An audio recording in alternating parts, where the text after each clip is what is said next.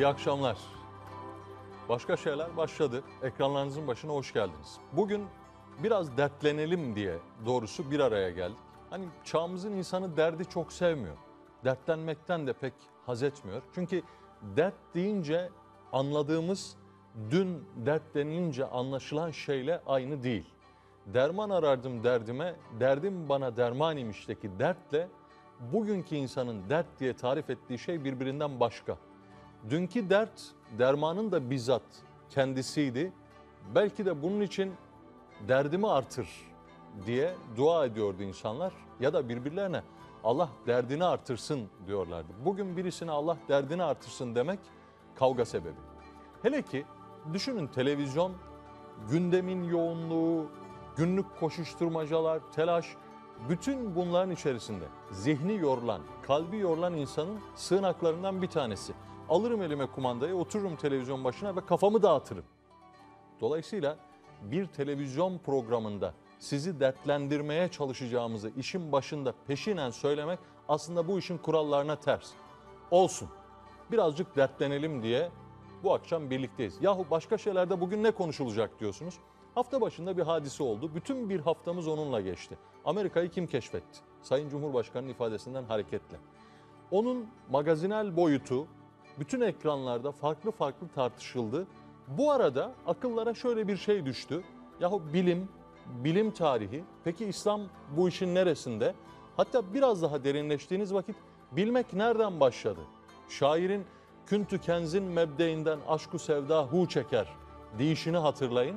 Allah gizli bir hazineydim, bilinmeyi murad ettim diyor. Bazı zihinler oralara kadar gitti. İşte bugün bilmeye dair, İslam bilim tarihine dair ve yıllardır hadi itiraf edeyim gönlümde kafamda biriktirdiğim hususlara dair keyifli sohbet edip derdimi artırabileceğim ve derdinizi artıracak bir misafirim var. Kimden söz ediyorum? Profesör Doktor İhsan Fazlıoğlu İstanbul Medeniyet Üniversitesi öğretim üyesi. Hocam hoş geldiniz. Hoş bulduk efendim. Böyle Evet, uzunca evet. bir giriş oldu ama Dertli adamın e, sözü de bazen uzun olur. Dertleşeceğiz birlikte inşallah. dert adamı söyletir, tevekkeli söylenmiş bir söz tabii, değil yani. tabii tabii. Bazen susturur, bazen söyletir.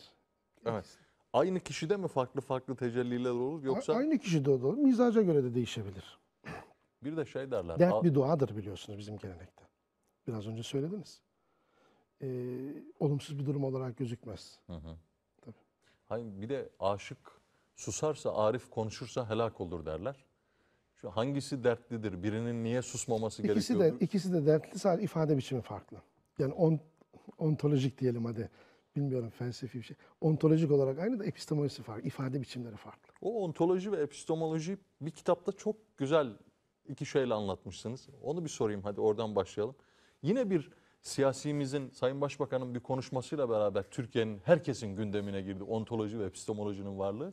Siz güzel söylüyorsunuz. Şeyin var şey vardır dediğimizde O bizim e, e, medreselerde de okutulan akaid kitabı Nesefi Akaidi var biliyorsunuz. Onun ilk cümlesidir. Hakaikul eşe sabitetun. Şey vardır. Vel ilmu biha mutahakkikun. Şey bilinebilir. Hilafen sofista, sofistaiye ve paylaşılabilir. Evet. Üç. Ontoloji, epistemoloji ve mantık ya da metodoloji dediğimiz üç hadiseyi medresede akidenin giriş cümlesi olarak verirler. Dolayısıyla bizde gerçeklik, bilgisi ve paylaşılabilirlik üçü bir arada düşünülerek itikada giriş yapılır. medreseleri ileride soracaktım ama madem medrese dediniz Yok oradan siz ben başlayalım. sizin düzeninizi bozmayayım. Yok geldiği gibi Ee, gitsin ya da hocam. Öyle bir şey varsa hayat öyledir. Geldiği gibi gider zaten. Onu belirleyemeyiz. Evet, hani sevdiğim bir hocam derdi ki evet bir formatınız olsun ama siz formatınızın esiri olmayın. Doğru. Zuhurata Zaten tabi olmak lazım galiba e, bazen. formla maddeyi birlikte götürmek lazım. Öncelikle ikisi birlikte bulunuyor zaten. Ayıramayız. Evet. Mesela medreseler için diyorsunuz ki medreseler Oğuzları millet yapmıştır. Medreseler ortak dil ve aklı yarattı. Bu ne demek hocam? Şimdi o tabii tarihsel bağlama geri gitmek lazım. Bu tür konularda konuşurken e, bağlamsal olan ile o bağlamı aşan, aşkın olanı hem birlikte hem de ayırarak düşünmekte fayda var. Neticede bütün yapıp etmeler insan yapıp etmeleridir. Belirli bir zaman içerisinde, belirli bir mekan içerisinde ortaya çıkar.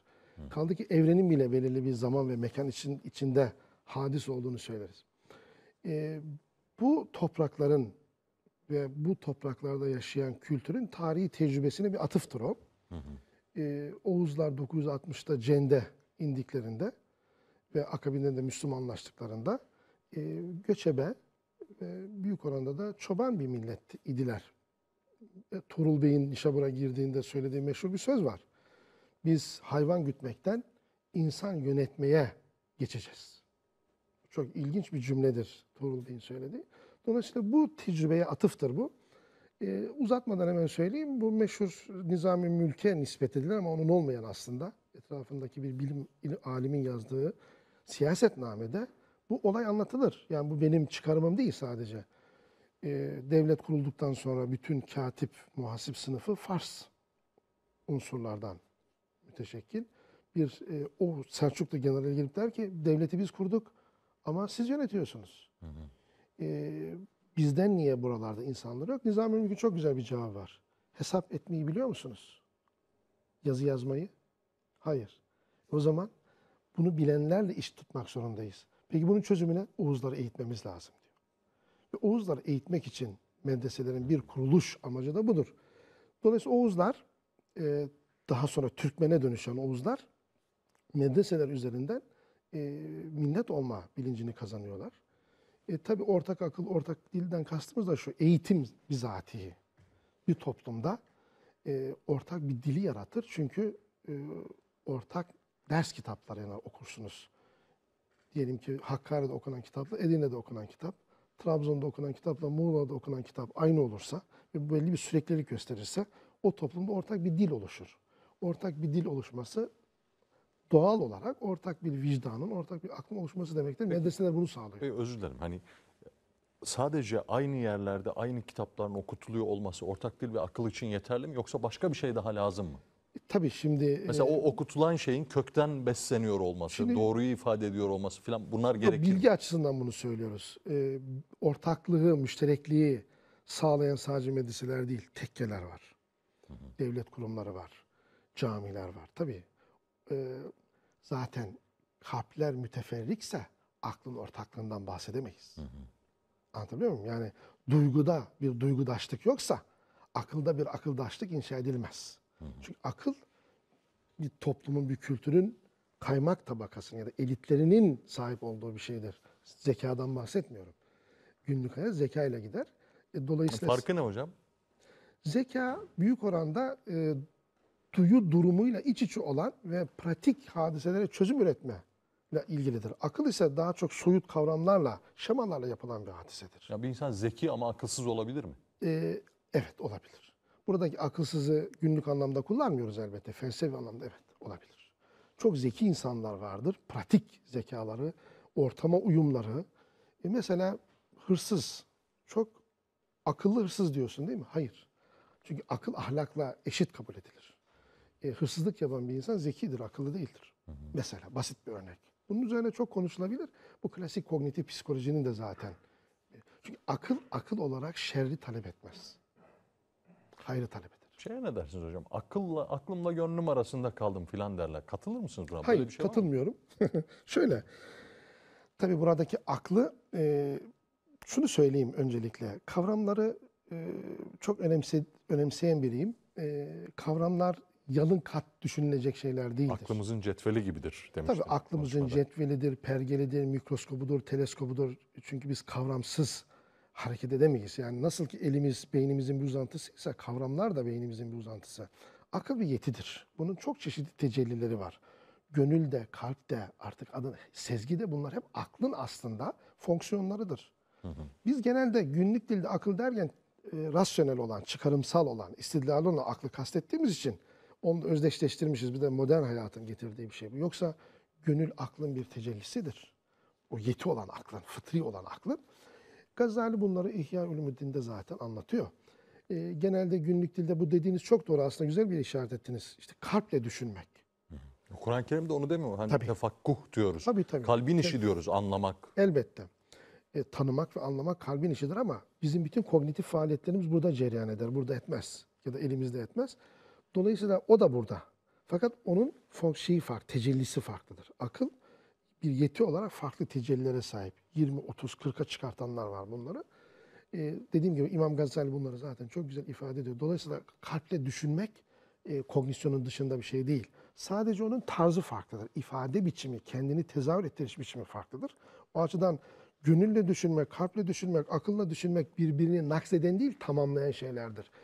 Ben özür dilerim. Kimde tamamlar? Mesela Arif'te tamamlar ama avamda da bu böyle midir? Üçü birbirini naksetmez mi? Şimdi her türlü yetimizin e, katmanları vardır. Bu Arif'te zirveye ulaşır, kemale ulaşır ama bir sokaktaki vatandaşta da bu vardır ama derecesi düşüktür. Dolayısıyla sadece Arif'te olan bir hadise değil. Orada kemali ile olan bir hadisedir. Aşağıda o derecesi azdır. Yoksa bütün insanlarda bunlar yeti olarak mevcuttur. İnsan olmanın e, gereğidir bu zaten.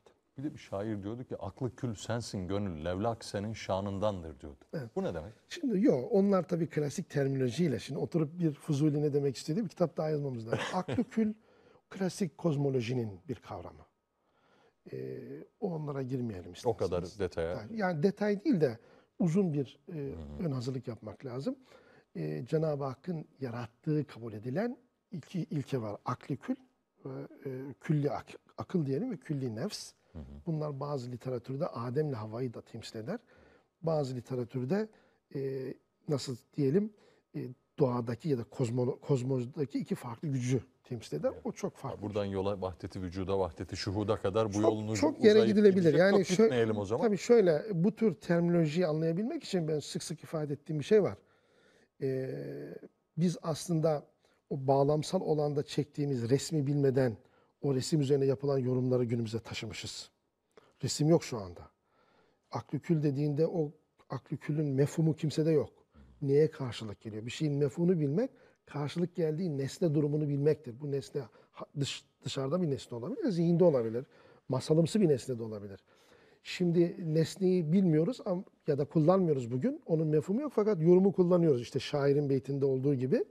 Pek çok bilimde de bunu yapıyoruz, sanatta da bunu yapıyoruz. Halbuki eee, insanın bilgisi üç katmanlı bir yapıdır.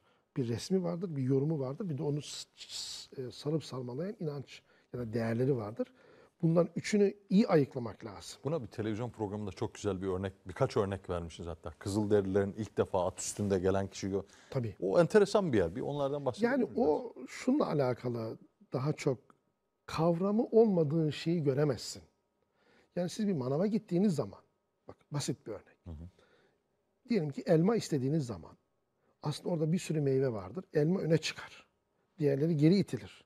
Yani sizin kavram kullandığınız zaman bir sestir o ama gittiğinde karşı tarafa o bir anlama dönüşüyor ve onun nesnesini öne çıkartıyor. Bunun gibi kavramına sahip değilseniz bir şeyi ben size şu anda kuantum fiziği anlatsam, proton, nötron desem, siz bunu sözel olarak, ses olarak duyarsınız ama mefhumu yok. Mefhum olmayınca sizde bir resim oluşmaz. Bu sadece çok e, karmaşık bilimsel meselelerde değil. Bize çok basit gelen konularda da böyledir. Mesela herkes Yunus Emre okuyor, anladığını zannediyor. Halbuki Yunus Emre'nin o basit, Evet. ilk defa Oğuz Türkçesiyle, Batı Türkçesiyle ilk defa dile getirdiği o yapılar ait olduğu e, bağlam bilinmediği için halbuki şey, çağrışım yoluyla düşünülüyor. Çıktım erik dalına, anda yedim üzümü deyince erik mesela- ağacına çıkıp üzüm yiyen bir adam geliyor gözümüzün önüne. Ya da ilim, Halbuki ilim ilim bilmektir. Yanlıştır. İlim ilmi bilmektir. Değil mi? Ne demek ilim ilim ilmi bilmektir? Bunun üzerine günlük bugünkü çağrışımlarla düşünüyoruz. Halbuki o dönemin ilim nedir? İlmi bilmek ne demektir? Değil mi? Bunlar bir terim. Bu terimlerin mefhumlarını belirlemeden üzerine yaptığımız konuşma ben buna çağrışım yoluyla düşünme diyorum. Tamamen sözcükler üzerinden cereyan ediyor. Orada verdiğimiz örnekler de bunun için çok önemli. Yani e, Portekizler ilk Latin Amerika'ya çıktıkları zaman at olmadığı için at kavramı yok adamlar. Atın üzerindeki şövalye ile atı tek bir varlık olarak görüyorlar. Bakın oraya gitmeye gerek yok. Bugün dünyada olup bitenleri anlamak için de çok gelişmiş kavram algoritmalarına, şemalarına sahip olmak lazım. Ee, ekonomik kriz oluyor ya da siyasi politik manevralar oluyor. Bunları e, o olup bitenleri idrak edecek kavramsal şemaları olan ya da algoritmaları olan kültürler ya da insanlar anla- anlıyorlar. Çoğu bakıp e, duruyor. Yani bu şeye benzer. Elinizde A yok Ama nehir balık kaynıyor. Yakalayabilir misiniz? Çok becerikliyseniz bazı yerler gibi elinizle tutarsınız ya da sopa atarsınız. Kavramlar bizim ağlarımız gibidir tabii. Ama hocam özür dilerim hani o kavramlara, ağlara hiç sahip olmadığı halde herkes anladığını iddia ediyor artık. Herkes her şeyi anlıyor ve biliyor. Tırnak içinde söylüyorum. bunu. Anladım. Bu kadar kolay mı? Ha bilmediğini bilmek bir şeyi bilmekten sanki daha zor gibi. Tabii ben hep Hazreti Ali'nin e, biliyorsun Medinetül ilim, ilmin kapısı, şehri, ya ilmin kapısı, ilmin şehri, şehri benim kapısı Hazreti Ali'dir. Hadisini hatırlarsak güzel bir cümlesi var. E, bilmiyorum demekten çekinen insanın ilmine itibar etmeyiniz. Biz bilmiyorum demekten çekiniyoruz. E, tabii şöyle bir şey, bunun nedenleri üzerine çok konuşulabilir ama tarihsel tecrübemizden bir haber olduğumuz için yeni bir tecrübe için de zaman lazım.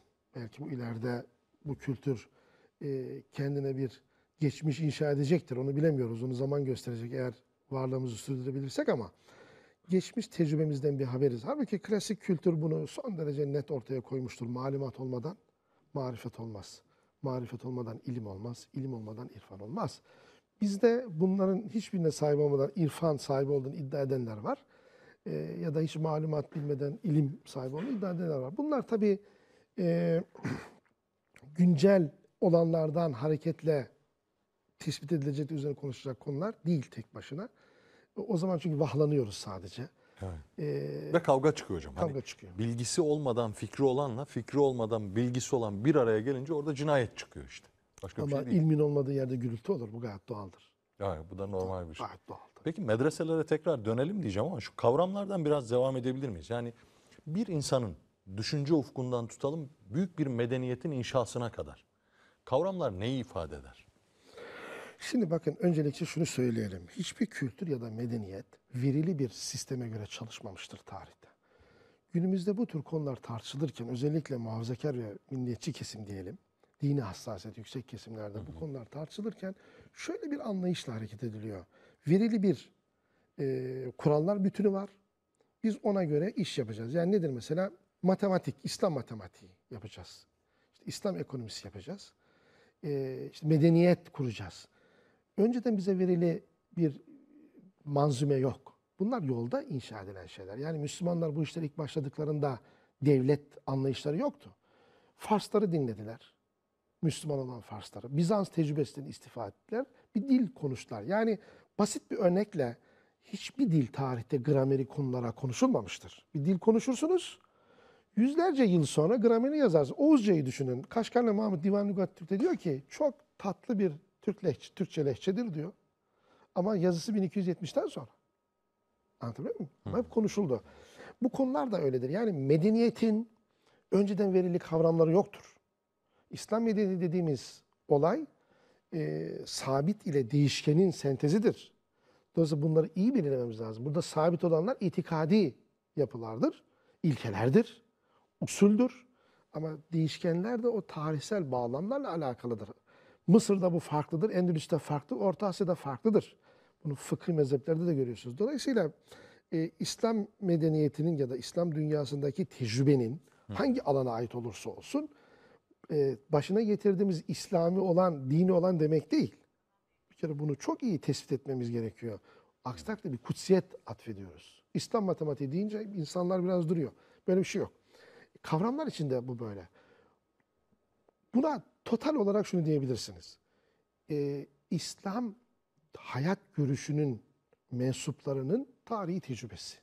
Bu tecrübede insana ait her şeyi bulabilirsiniz. İlla bunun çok olumlu olması, ak olması gerekmiyor. Her şeyiyle. Çünkü neticede bu iyi bir insan. İnsanların yaptığı bir şey. Ve bu haliyle de büyük insanlık küresinin bir üyesi. Yani farklı bir şey değil. Anlatabiliyor muyum? Yani siz buna benim her zaman verdiğim bir örnek vardır. İbn Sinan El Kanun Fıt Tıbbını. Tabii bizde hani biraz önce dediniz ya malumat olmadan ilim sahibi. Bunlar okunmuyor. İsimleri biliniyor, konuşuluyor. Çok güzel. Şimdi El Kanun Fıt Tıbbı açtığınız zaman orada Çin tıbbı var. Hint tıbbı var. Uygur tıbbı. Mezopotamya tıbbı, Mısır tıbbı, Yunan tıbbı ve İslam'ın kendisine kadar, İbn olan pratik uygu. Bunların hepsini sentez etmiş. El kanun fıt demiş, İslam tıbbı dememiş. Dolayısıyla kavramlar içinde bu böyledir. Burada eee, özetle fazla uzatmadan ama şunu söyleyebilirim. Bizim e, çıkış noktamız bu konularda düşünmek için, tartışmak için çıkış noktamız çok basit ifadeyle tarihi tecrübemizin kendisidir. Eğer bu tecrübeyi bilirsek, bunu insanlığın bir tecrübesinin e, bir parçası olarak da görürsek, e, ne kavga etmemize gerek var, ne de e, etmememize. Yani bunu entelektüel bir bağlamda konuşmak mümkün. Peki hocam mesela kelimeler için hani hem kullanıldığı zaman demin ona işaret ettiniz hem de nereden doğduğu bu da çok önemli. Mesela batılı empati diyor. Ama biz hemhal olmak diye ifade ediyoruz. Ya da kadimle eskinin arasında bir fark var. Kadim eskimiyor ama eski eskiyebiliyor hemen. Evet. Adı üstünde. Ya da geçen Twitter'da yazdım. Başımızın belası Twitter. Başarıyla muvaffakiyet birbirinden farklı şeyler. Başarı biraz e, netice odaklı, netice merkezli ama muvaffakiyet neticeye bakmıyor. Daha çok gayret ve öteden bir lütuf gibi duruyor gibi. Buna katılır mısınız? Başkasının kelimesiyle de kendimizi sanki ifade edemiyoruz, anlamlandıramıyoruz, anlatamıyoruz gibi. Şimdi buna hem katılırım hem katılmam. Çünkü bu maalesef Türkiye'de özellikle bir düşünce tembelliğine de sebep oluyor. Yani mesela şu cümleleri duyuyorsunuz. İlim başka, bilim başka. Niye başka? Sen e, klasik Türkçenin bir terimini kullanıyorsun ilim diye. E, yeni bir kelime üretmişsin bilim. Peki Arap ne yapacak? Arap'ın elinde sadece ilim var. Eskiden de ilim vardı, şimdi de ilim var. Ona da ilim diyecek bugünkü şeye. Geç, geçmişe de ilim diyecek. Ya da tefekkür başka, düşünmek başka. Niye? Yani bakın biz şizofreni yaratıyoruz. Klasik Türkçenin terimlerini bir kere Arapça olmak bırakmamız lazım. Bunlar Arapça falan değil. Bunlar klasik Türkçenin terminolojisidir. Tefekkür düşünmek demektir. Elbette bunun ait olduğu mefhum farklı olabilir. Ya da bununla ilgili bir yazı yazdım hatta o kadar üzüldüğüm için. Bir imtihanda genç bir arkadaşımız şunu diyebildi. Batı bilimi e, gerçekliği araştırır, biz ise hakikati araştırıyoruz. Hakikat gerçeklik demek zaten ya. Yani bu tuzağa düşmemek kaydıyla. Bu katılmadığınız taraf. Evet. Katıldığınız taraf Katıldığım taraf şudur. Bu kelimenin üretildiği bağlamı bilirsek, referanslarını, mistaklarını iyi tespit ederiz. O zaman farkı yakalarız. Ama bu farkı yakalamak, e, o kelimeyi ya karşılık gelen Türkçe bir sözcüğü kullanmayı engellemez. Mefhumunu bilmek önemlidir. Sözcüğün kendisi lafız olarak çok önemli değil. Mefhumu önemli. Bunu anlatamıyorum. Şimdi İmam Gazali bunu çok iyi vurgular. Lafızlarla ahmaklar düşünür der. E, tahsilli insan ya da entelektüel bir insan mefhumlarla düşünür. Siz Ne hocam biraz açabilir miyiz? Mesela mefhumla düşünmek, bir örnek ver, bir lafızla düşünmek ne demek? Azıcık zihnimizde berraklaşsın. Hani belki talebeleriniz aşina oldukları üsluptan dolayı anlıyorlar ama ekran başında o Örnek- dertlendirmeye uğraştığım Örnek, dostlar da fark şimdi etsin kitabın, istiyorum. Kitabın e, adında geçen e, ışk imiş her ne var alemde, ilim bir kıylukal imiş ancak. Bakın sözcükle düşünmek şudur. Kıylukal nedir? Dedikodu. Dedikodu. Bitti. Çünkü İngilizce'de de öyle gossip diye tercüme edilmiş. Bakın bu sözcükle düşünmektir.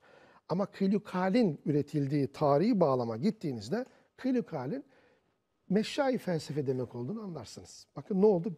Değişti tamamen. Anlatabiliyor muyum? Ya da biraz önce aklı kül dediniz. Siz aklı küllü tümel akıl diye tercüme edebilirsiniz Türkçe'ye.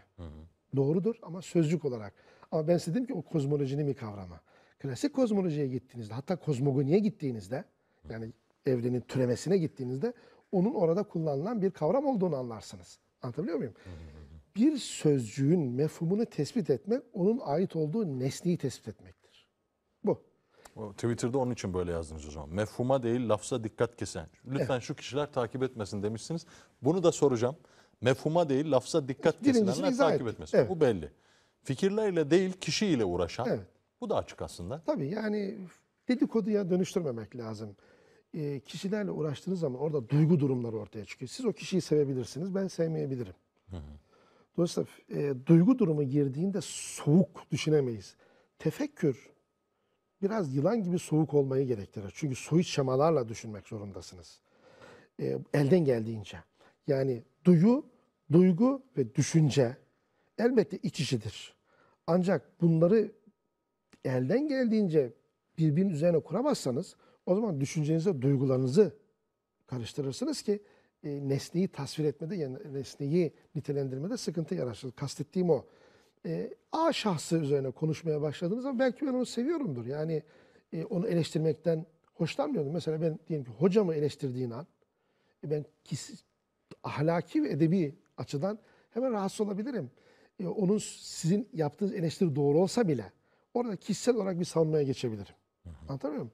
Onun için kişiler değil fikirler önemlidir. Yani şey gibi tasavvufun günah değil, günah günahkar değil, günah kötüdür demesi. Mesela evet tabii. Yani fiilin üzerinde yoğunlaşalım. E, tabii. Faili konuşmaya gerek yok. Üçüncüsü de günlük siyasetin diliyle düşünen. Günlük siyasetin diliyle düşünmek bizi neyden mahrum eder düşünmede? tekillikler içinde kayboluruz. Bitmez ki. Ama bir en, şimdi bakın günlük siyaseti takip etmeyin demiyorum. Burada da İmam Gazali'nin ilkesi son derece önemlidir. Ee, ilimle, e, bilgiyle uğraşan bir insan günlük siyaseti takip eder. Ama külli siyasete göre düşünür diyor. Yani biz onu da şöyle düşünmek esas itibarıyla olgu ve olayları soyut kavramsal şemalara dönüştürme işidir. Ya da daha aforizmatik bir deyişle hissi olanı, duyusal olanı, akli olana, makul olana tercüme etmek işidir. Bunu yaptığınızda zaten bir genelleme tırnak içerisinde yapıyorsunuz. Ee, siyaseti de böyle düşünmek zorundayız. Bu tabii bir risk verir. Entelektüel, alim, bilgin iyi siyasetçi olamaz. Çünkü siyaset tekillikler e, üzerinden yürür. İbn Haldun'un mukaddimesinde bir bölümdür bu biliyorsunuz. Niçin alimler iyi siyasetçi olamaz? Çünkü tümel düşünüyorlar, genel düşünüyorlar, kavramlarla Ama düşünüyorlar. siyasilerin de akil olmasına mani değildir tabii. Şimdi bir şey bilmek, bir şeye sahip olmak mı onu kullanmak ayrı şeylerdir. Önemli olan hakikati bilmek, hakikatin bir siyaseti vardır. Tabii Mesela siyaset demişken hocam hep şu denir ya işte şairler duygusal adamlardır onlardan yönetici olmaz filan. E dönüp bakıyoruz 36 Osmanlı padişahının 33'ü şiir yazmış. Buna nasıl bakarsınız? Şimdi çok derin bir yere işaret ediyorsun. Ee, bizim Baştan dedik hocam dertlenmek, için Dertlenmek, yapıyoruz bu evet. programı muhabbet ediyoruz. Doğru, doğru. Şimdi bu zaten benim de hoşuma gitti açıkçası. Çünkü ben genelde televizyon programlarıyla arası iyi olan biri değilim ama gerçekten iyi bir muhabbet ortamı olunca ben de rahatladım. Şimdi bakın e, biz e, kullandığımız sözcüklerin mefhum düzeyindeki anlamlarını kendi tarihi tecrübemizden devşirmiyoruz. Yani burada çok ağır gelebilir ama bizim din anlayışımız bile, Allah anlayışımız bile bizim tarihi tecrübemizden devşirilen bir şey değil. Çünkü bu bitti. Burada devşirmeyi entelektüel, uzmanca değil, kültürümüzün kodlarına, davranışlarına silmesi anlamında söylüyorum. Yoksa elbette bunu bilen son derece değerli hocalarımız, uzmanlarımız var. Onu kastetmiyorum. Türkiye'deki kültürün pratiği kendi tarihi tecrübesinden beslenen bir özellik göstermiyor. Onun için e, şöyle bir aforizma kullanmıştım. Müslümanca inanıyor, Katolikçe düşünüyor ve Protestanca yaşıyoruz. Şiir de böyle. Şiir Ne kelime- demek? Şimdi hocam şiire tekrar dönmek üzere o, o aforizma mühim bir aforizma. Niçin böyle? Bu ne demek? Bu işte bizim kültürel sürekliliğimizde sürekliliğimizin ortadan kalkmasıyla alakalı bir durum. Ee, bakın basit bir örnek vereyim işte. Sizin şair şöyledir, şair böyledir. Acaba bizim kültürel pratiğimiz, pratiğimizde böyle mi? Bakın diyelim ki çok hani tartışmalı evrim konusunu tartışıyoruz. Türkiye'de tartışılıyor değil mi? E, tamamen kaynaklarımız protestan ya da katolik e, savunucuların yazdığı metinlerin tercümesi. Mesela şöyle diyor muyuz? Ya İslam dünyasında canlılık sorunu nasıl ele alındı? Ne düşündüler bu konuda? Var mı böyle bir şey? Çok Or- çok bilen o- İbrahim Hakkı Hazretleri'ne biraz Ama orayı da gelir. orayı da bu açıdan okuyoruz ama. Büyük evrimci yapıyoruz mesela. Ne demek evrim? ya? Yani ya anokronik bir tutum içindeyiz ya vigizm falan falan. Neticede e, kullandığımız kavramlar. Şair bunalımdadır. Filozof işte e, e, devamlı ne diyelim e, dağıtır. Öyle bir şey var mı? Mesela ben İslam felsefe tarihine, Yunan felsefe tarihine, Batı felsefe tarihine baktığımda filozoflar hep zengin, varlıklı, siyasi olarak çok ileride olan insanlar görüyorum. Yani bugünkü e, felsefe bölümünde de öğrencilere ilk sorduğunuzda felsefeciyi nasıl zannederler? İşte dağını yıkanmayan, bitli pireli gezen bir adam gibi. Öyle Ya değil midir? Hocam, şimdi bu Ya da- ön yargı ve ön kabuller şeyi getirdi aklıma. O sizin Çinli bisiklette giden adam hadisesi. Evet. Ben O orada ne yapacağım 6 Hız, saat? hız kavramıyla alakalı. Ama burada o düşünceye de sanki o denk düşüyor. Şimdi e, Onu sattım bu arada. Bugün bir programda anlattım. Dedim böyle bir size de atıfta bulunmadan anlat. Olsun o miri malıdır. Hani diyor aşıkların sözlerini alıp satan aşık mıdır? İçini görmez sarayın vasfeder duvarını. Şey Bir de bu Galip, var. şey Galip Hüsnü Aşk yazdığında demişler ki ya bu Mesnevi'den hani miri malıdır yani vakıf malıdır bunlar. Herkes kullanabilir bunlar kimsenin şeyi değil. Bakın sizin söylediğinize bir e, benzetmeyle e, cevap verilebilir aslında. Her kültürün gen- kendine ait bir gökyüzü tasavvuru vardır. Yani biz kendi değerlerimizle, kendi kavramlarımızla, kendi inşalarımızla etrafa bakıyoruz. Benim ağaca bakmamla başka bir kültürün ağaca bakması aynı değildir. Benim bir, e, şuna benzer bu. Diyelim ki aşık olduğunuz bir insan var. Sizin ona bakışınız da dışarıdan birinin bakışı aynı olabilir mi? Asla. E öyle bu. bu. Ya duygu, değer, biz sadece bilgiyle bakmıyoruz ki. Peki biz şu anda birçok şeye hep başkalarının gözüyle bakıyoruz Evet, aslında biz- değil mi söylediğinizden Biz anladım. biz baş, ben buna şöyle diyorum. Biz başka bir ha- hastanın klinik kayıtlarına göre tedavi gören bir hastayız. Yani hastaneye gitmişiz. Sorunlarımız var. Bunu kabul edelim tabii. Yani her medeniyetin sorunları, her kültürün sorunları var. Özellikle iddialı olan e, bir teklifi olan kültür. Biz herhangi bir kültür değiliz. Biz Bantu kabilesi, Pigme kabilesi değiliz. Bu topraklarda yaşayan kültürün bir teklifi vardı. Bu teklifi bin yıl bir temsil makamındaydı. Fakat bu politik, ekonomik neyse bir inkıraza, bir yenilmeye uğradı. Burada bir sıkıntı yok. Ee, şimdi biz bunu anlamak için, bunu analiz etmek için e, herhangi bir psikolojik sıkıntı yaşamamıza gerek yok. Ee, iddiası olan bir insan yenilse bile ya da e, zayıflasa bile oturup hangi nedenlerden dolayı yenildiğini analiz eder. Yani burada duygusal bir duruma e, Ama söylediğinizde anladım şu bu analizi yapabilecek durumda değiliz. Ha, şunun için değiliz. O hastane klinik Hah, mevzu orada üzerinden. şunun için değiliz. Yani biz bu sıkıntılarımızın çözümünü kendimiz analiz etmemiz lazım. Ama biz ne yaptık? Kolaya gittik, kaçtık. Gittik bir hastaneye. E, uzman doktor dedi ki bana bir daha önce tahlilini yaptığın kan tahlili, şu tahlili, bu tahlili yaptığın hastanın e, muayene sonuçlarına göre ilaç ver. Bu mümkün değil. Yani Sanayi devrimi, Rönesans reform. Niye ama? Çünkü dedim ya tarihi tecrübemizle muhatap değiliz. Bu tecrübeyi olumlamak, kutsamak anlamında söylemiyorum. Sorunsa bu, bu sorunu gidip bizim yüzleşmemiz lazım. Bakın çok basit bir örnek. Şimdi İslam bilim tarihi falan diyoruz, işte düşünce tarihi diyoruz, felsefe tarihi diyoruz. Acaba bu felsefe olsun, bilim olsun, hatta dini ilimler olsun ne kadar bizim kendi gözümüzle, kendi dertlerimizle, kendi sorularımızdan hareket ederek yazılmış bir yapıdır. Ya bugün okuduğumuz tefsir tarihi bir Macar Yahudisinin yazdığı tefsir tarihidir ya. Yani pek çok konuda bunu yapıyoruz. Kendi medeniyetimizi ya batıya etkisi oranında araştırıyoruz. Şunu etkiledik, bunu etkiledik. Şöyle, ne olacak yani? Etkilesen ne olur, etkilemesen ne olur? Zaten Batı kültürü de kendi tarihsel geçmişini yazarken oraya etkisi olan insanları gündeme getiriyor. İbn Sina'yı anlatıyor sana, İbn Rüşd'ü anlatıyor. Peki etki yapmayan ama benim için önemli olan düşünceler ne olacak? Önemli değil. Niye? Batı'ya etki yapmadı bunlar. Böyle bir şey olabilir mi? Bir de özür dilerim yanlış mı hatırlıyorum? 13. yüzyıl işte 1300-1350'lere kadar o yazılı metinler gerçekleşti. O arada bizden alınanlar alındı ama aradakinin böyle bir kayda düşmüşlüğü yok. Bu gayet Bu doğal. batı Bakınız. için mazur görülebilir ama Şimdi bizim için bu bir handikap değil mi? Şimdi şöyle düşünün. İslam medeniyeti doğal insanlığın tecrübesini kendisine aktardı. Önce tevarüs etti, onu miras aldı. Sonra onu mülkiyetine geçirdi, temellük etti. Sonra onu temessül etti, özümsedi. Sonra da ihtiyaç duydu, tercüme etti ve teliflerde bulundu. Şimdi biz bugün Yunan kültürünü İslam'ın gördüğü şekilde yazabilir miyiz? İslam'ın gördüğünden bağımsız bir Yunan kültürü var. Bir Helenistik kültür var. Bir Mezopotamya kültürü var değil mi? Bir Mısır kültürü var. İslam'ın onu görme biçimi ya da onu kendine aktarma biçimi farklıdır. Gayet güzel. Şimdi Batı'nın da ya da Batı Avrupa'nın da hem skolastik dönemde hem de modern dönemde senin bir görme biçimi var. Bu gayet doğal. Kendine güvenen bir kültür başkasını tanımlar. Sen burada sorun şu, onun bu tanımı değil. Onun, onun doğal yaptığı bir şey. Senin kendini bu tanımın içine hapsetmen. Benim dediğim bu. Ben o tanımın dışında da bir kültürüm. Yani diyelim ki siz matema İslam dünyasındaki matematik faaliyetleri inceliyorsunuz. E sadece Latinceye tercüme edilen kitaplarla yetinebilir misiniz? Ne olacak Gıyasettin Cemşir Erkaşi? Cemalettin Türkistani ne olacak? Ali Kuşçu ne olacak?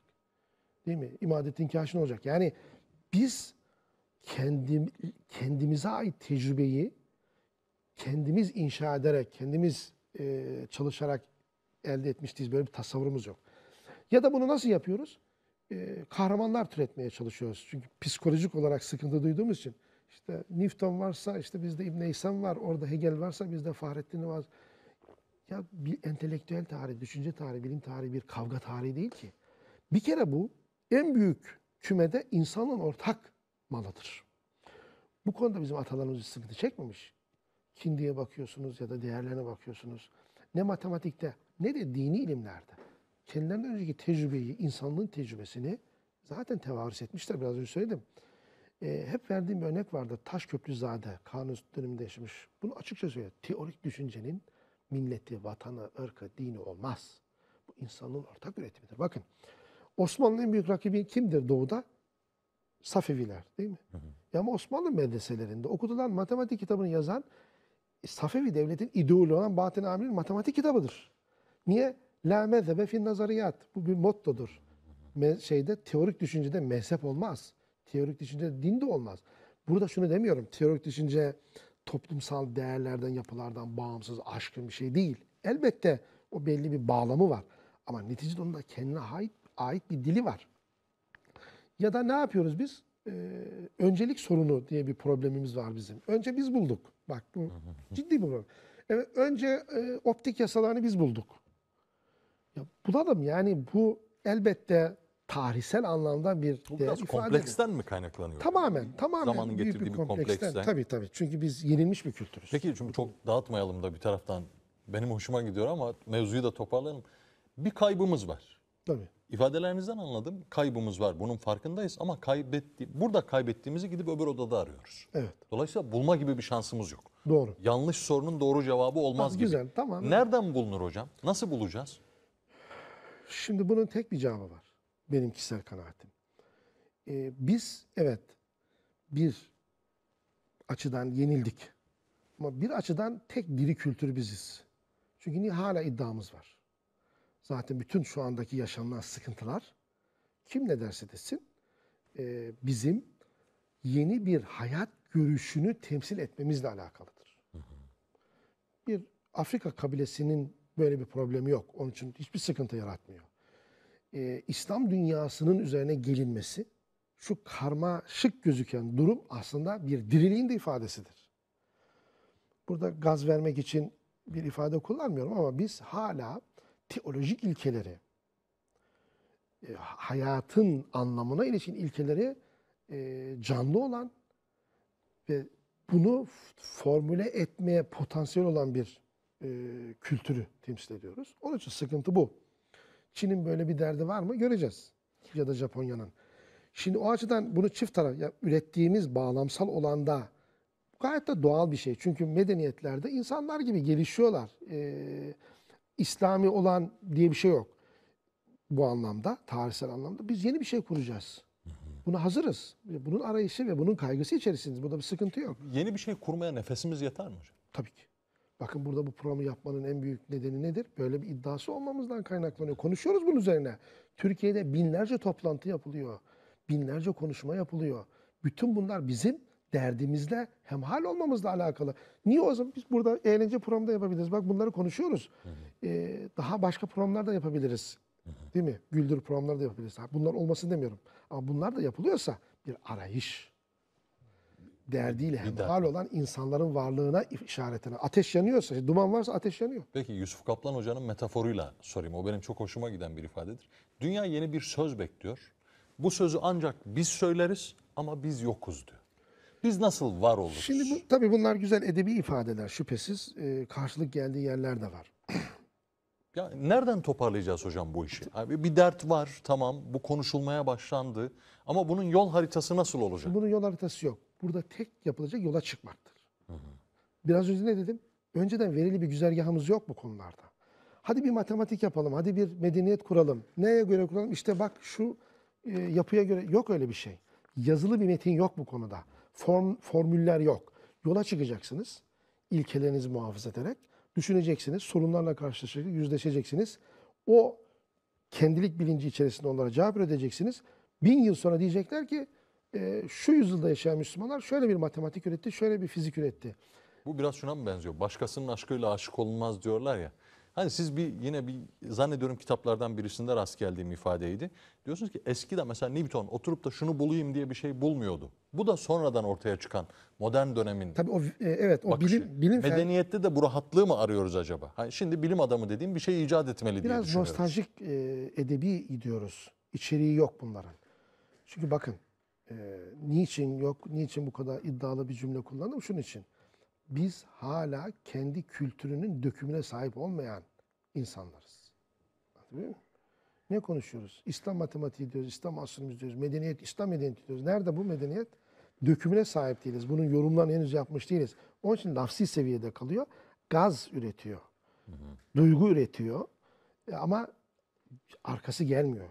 Hazreti Ali'nin ifadesiyle insan bilgidir. Eşittir bilgidir. Bilgisiz bu işler olmaz. Övgüyle, sövgüyle, dıgıdık, tarih anlayışla bunlar olmaz. Ee, yani ben de bunları söyleyebilirim burada. Derim ki arkadaşlar şu olacak, bu olacak, şöyle olacak. Bunlar tamam. Belli bir yaş grubunu e, tatmin eder. Açık ve net söyleyeyim. Türkiye'deki İslami söylem 15 ile 25 yaş arasındaki insanlar için işe yarıyor. Niçin 25 yaşından ya da 30 yaşından sonra insanlar değişiyorlar?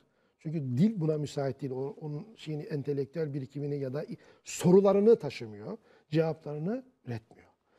Bu bilgiyle olacak bir şeydir. Coşku lazım ama tek başına coşkuyla olacak bir şey değil. Hep söyledim. Biz katmanlı düşünmek zorundayız. En aşağıyla ve en üstü aynı anda düşünürseniz e, kavramlar, e, fikirler katmanlıdır. Gökdelen gibidirler. Tamam mı? Yukarısı da aşağısı da. Buna biz ufki düşünce diyoruz bizim geleneğimizde. Yani bu aşağı biliyoruz piramidin e, en altı çok geniştir, yukarı incelir. Kültür böyledir. Böyle inşa edilir. Sadece zemin var ama yukarısı yoksa bu pek bir anlam ifade etmez. Kaba kaçar. Peki hocam tarih boyu tecrübeye baktığımızda bu dert toplumun geneline mi yayılması lazım? Yoksa bazı insanların bu işte Yok, bir dertlenmesi kere halkı kifayet rahat eder mi? bırakacaksınız. Şimdi bu bu da çok e, enteresan bir şey. Bir- e, Ne konuşursanız ama halk ya halkı rahat bırak. Halkın e, bu bir şey tahkir ifadesi değil. Bununla ilgili ben bir söyleşimde şunu söyledim. Ben bu halkın çocuğuyum. Halkı tahkir ve tezif ederek iş yapılmaz. Bir entelektüel çıkıp bir e, bir e, alim ya da aydın çıkıp halkı tahkir ve tezif ederek iş yapıyorsa ben ona itimat etmem. E, eğer sen doğruyu biliyorsan, iyi biliyorsan, güzeli biliyorsan ay, geçeceksin halkın önüne yol göster. Evet anlamıyor. Ya halk zaten her şeyi anlamaz. E, ben şimdi kuantum mu anlatayım halka? Fraktal geometriden mi bahsedeyim? Dini konularda ya da siyasi konularda halk niye her şeyi anlasın? Hocam anlamak gibi mecburiyeti de yok. Yok, hayır. Hayır, rahat bırakın demek aslında tahkir ve teziften çok Değil. başka bir duruş. Tabii tabii. Hani tabii. halk anlamaz bu işlerden değil de. Ya anlamaz zaten. Yani bırak ne kardeşim. kadar- Anlamak gibi bir derdi de olmasın. Malumu ilam Tabii ki anlamayacak. Şimdi bakınız. Peki nasıl olacak? Kimler bu işin Bir yolu? toplumun entelektüelleri vardır. Bir toplumun seçkinleri vardır. Yani zeka avcılığı yapmamız lazım.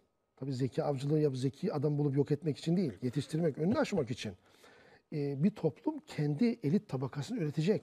Burada kan aristokrasisinden falan bahsetmiyorum. Ehliyet aristokrasisinden bahsediyorum. Meritokratik bir yaklaşım. Yani bir toplumun yaratılıştan gelen yetenekleri bulup onların önünü aşması lazım. Her, her konuda.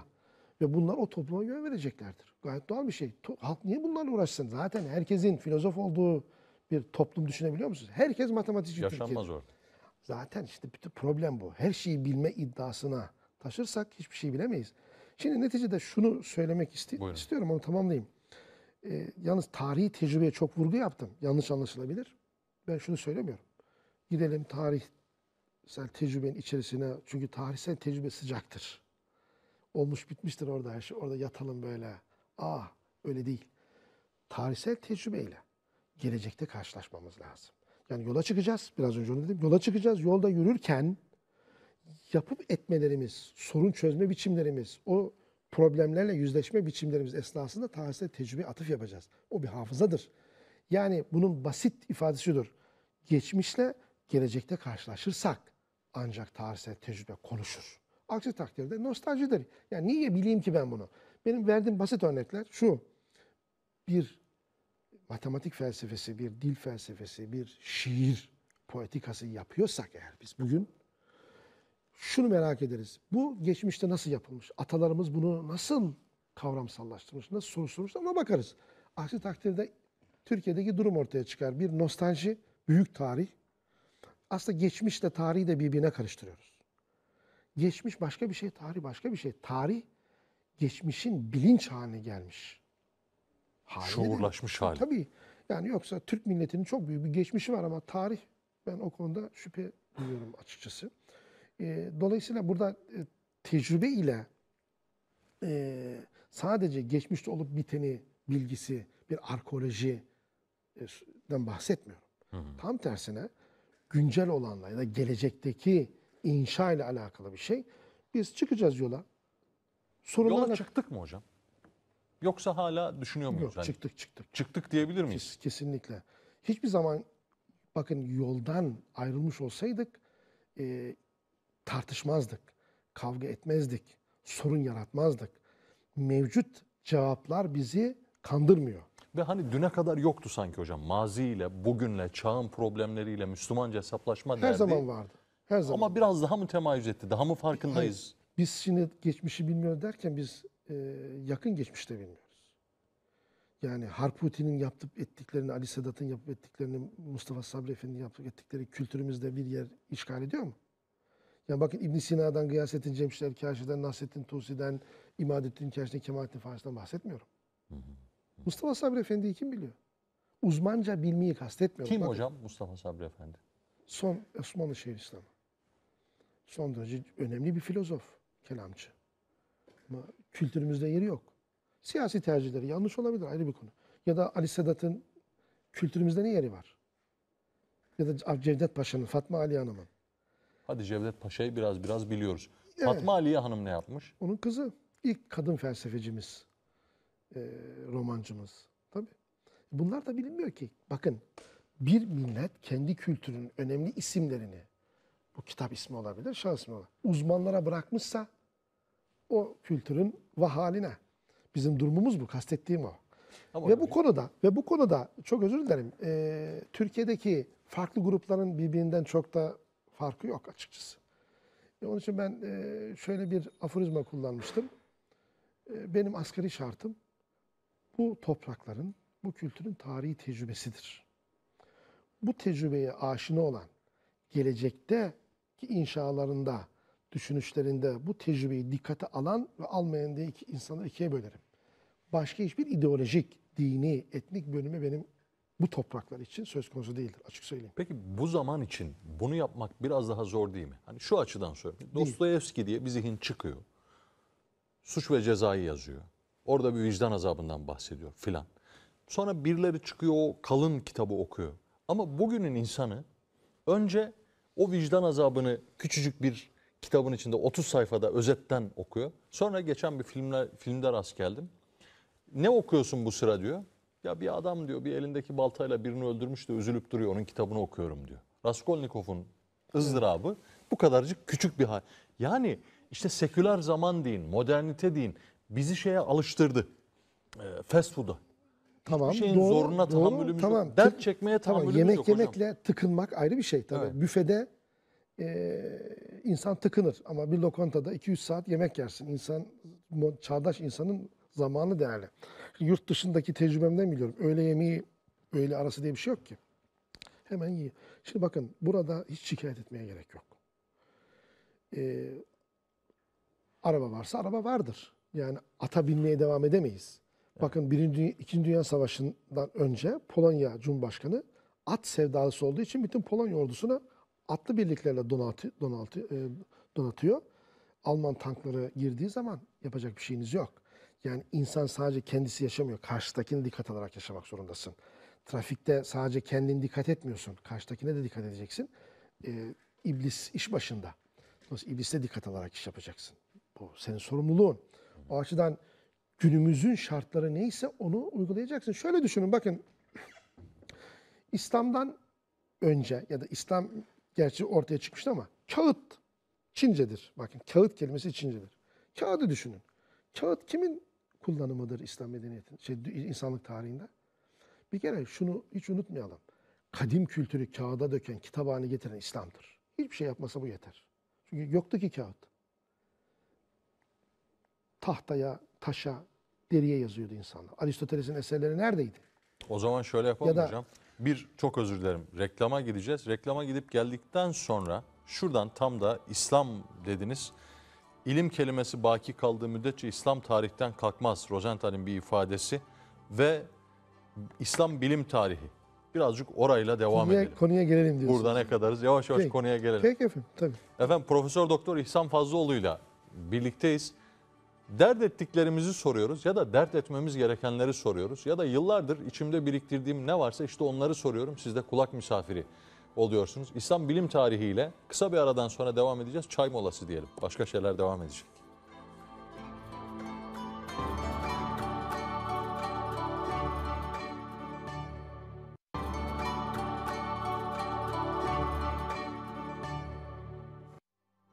Efendim başka şeylerde birlikteliğimiz devam ediyor. İstanbul Medeniyet Üniversitesi öğretim üyesi Profesör Doktor İhsan Fazlıoğlu bugün misafirimiz.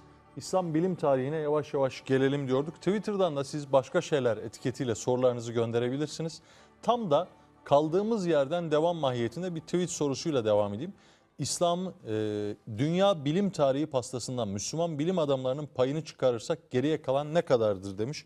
Hocam bu meyanda siz Rosenthal'den bir aktarma yapıyorsunuz. İlim kelimesi baki kaldığı müddetçe İslam tarihten kalkmaz. Bir bu. iki modern bilimin ortaya çıkmasındaki en önemli etkenlerden birisi Türk ko- korkusudur diyorsunuz. Bu ne demek? Birbirinden bunlar? farklı e, üç soru oldu burada aslında. Evet. Şimdi bir kere e, bu soruyu soran tabii kişiyi tanımıyorum ama özellikle genç arkadaşlara şunu eğer yaşım müsaitse tavsiye ediyorum. Entelektüel tarihi, düşünce tarihi, bilim tarihi bir savaş tarihi gibi okumasınlar. E, bilim günümüzün özellikle e, 1850'lerden sonra e, bilim sosyalleştikten, sosyal hayatı belirledikten, sonra, teknolojiye dönüştürdükten sonra merkezi bir hale gelmiştir. 1860'a kadar bilim büyük oranda entelektüel bir faaliyettir. Çünkü sosyal hayatı belirlemiyor. Kamu hayatını fazla belirlemiyor. Çünkü tekno- teknoloji yok ortada. Dolayısıyla biz bugün için önemli olan bir kavramı merkeze alıp bütün insanlık tarihini yargılayamayız. Yani öyle kültürler var ki e, bizim anladığımız bugünkü anlamda belki bir bilime sahip değiller ama çok daha farklı başarıları var. Yani diyelim ki Hint medeniyeti bugünkü anlamda bir teknoloji üretmemiş olabilir ama olağanüstü derecede bir medeniyettir. Ya da Çin medeniyeti. Sık sık söylediğim şey var. Çin medeniyetini esas alırsak bütün ilerleme gerileme kavramlarını bile gözden geçirmemiz lazım. Basit bir adet. Milattan önce 68'den işte milattan sonra bilmem neye kadar Çin astronomisinin gözlemlediği süpernovalar, novalar dikkate alalım. E biz Batı dünyasında ancak süpernova, novayı 1580'den sonra gözlemlemeye başladık. Negatif sayıları alalım. Çinliler milattan sonra 2. yüzyılda negatif sayı kullandılar. Biz milattan sonra 1580'lerden itibaren başladık. Yani tekil örneklikten gitmek istemiyorum. Ama e, bilim tarihi, düşünce tarihi, felsefe tarihi bunları bir savaş tarihi olarak okumamak lazım.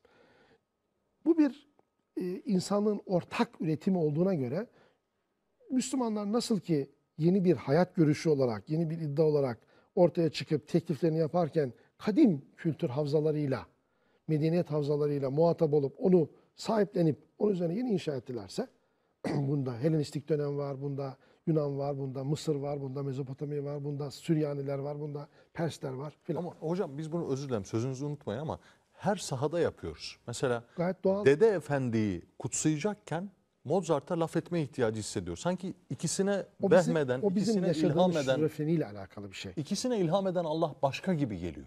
Ya İbn Sina'ya ilham veren Allah'la Newton'a ilham veren Allah Yok, o- haşa o sanki kadar başka mı yani? teolojik bakmayalım. Tamamen beşeri hadise olarak baktığımızda da bu gayet doğal bir şey. Batı'nın en büyük avantajı İslam medeniyeti geçmişine sahip olmasıdır. Bizim de en büyük avantajımız Helenistik ve Yunan geçmişine sahip olmamız. Bu çok iddialı bir söz değil mi? Hayır. Batı'nın en büyük avantajı İslam medeniyeti geçmişine sahip E, Tabii olması. gayet doğal. Bu ne demek? Bunu nasıl altın doldururuz? Gayet doğal. Şimdi Bi- Bizans'a bakalım. Bizans entelektüel açıdan tamamen İslamlaşmıştır. Kullandığı astronomi, matematik, İslam matematiği ve astronomisidir. E, zaten mevcutu bilmezsen yeni bir şey yapamazsın ki. E, İtalya'da en basit örnek İtalya'daki 1450'den mesela 1550'ye kadar okunan eserlere bir bakın. Hepsi İslam dünyasında telif ediliyor. Bu gayet doğal. E, biz de Yunan'da telif edilenlerle başladık. Ve bunları kitabileştirdik önce. Kitaba dönüştürdük. Tercüme ettik. Hangi sahalarda böyle Her? Mesela. İta- İtalya'da 1500'lerde okunan Astronomi, matematik, tıp hepsi. Bu gayet doğal. Biz nasıl bugün okuyorsak orada yazılan eserleri bu gayet doğal bir şey.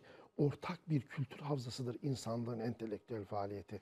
Şurada yoğunlaşma olur, burada seyrelme olur. Yani böyle bir şey değil. Ee, yarış meselesi değil. Bunlar çok çağdaş kavramlar. Batı medeniyeti bu hakkı teslim ediyor mu? Eder ya da etmez. Ben başkalarının yanlışlarıyla kendi doğrumu savunamam ki.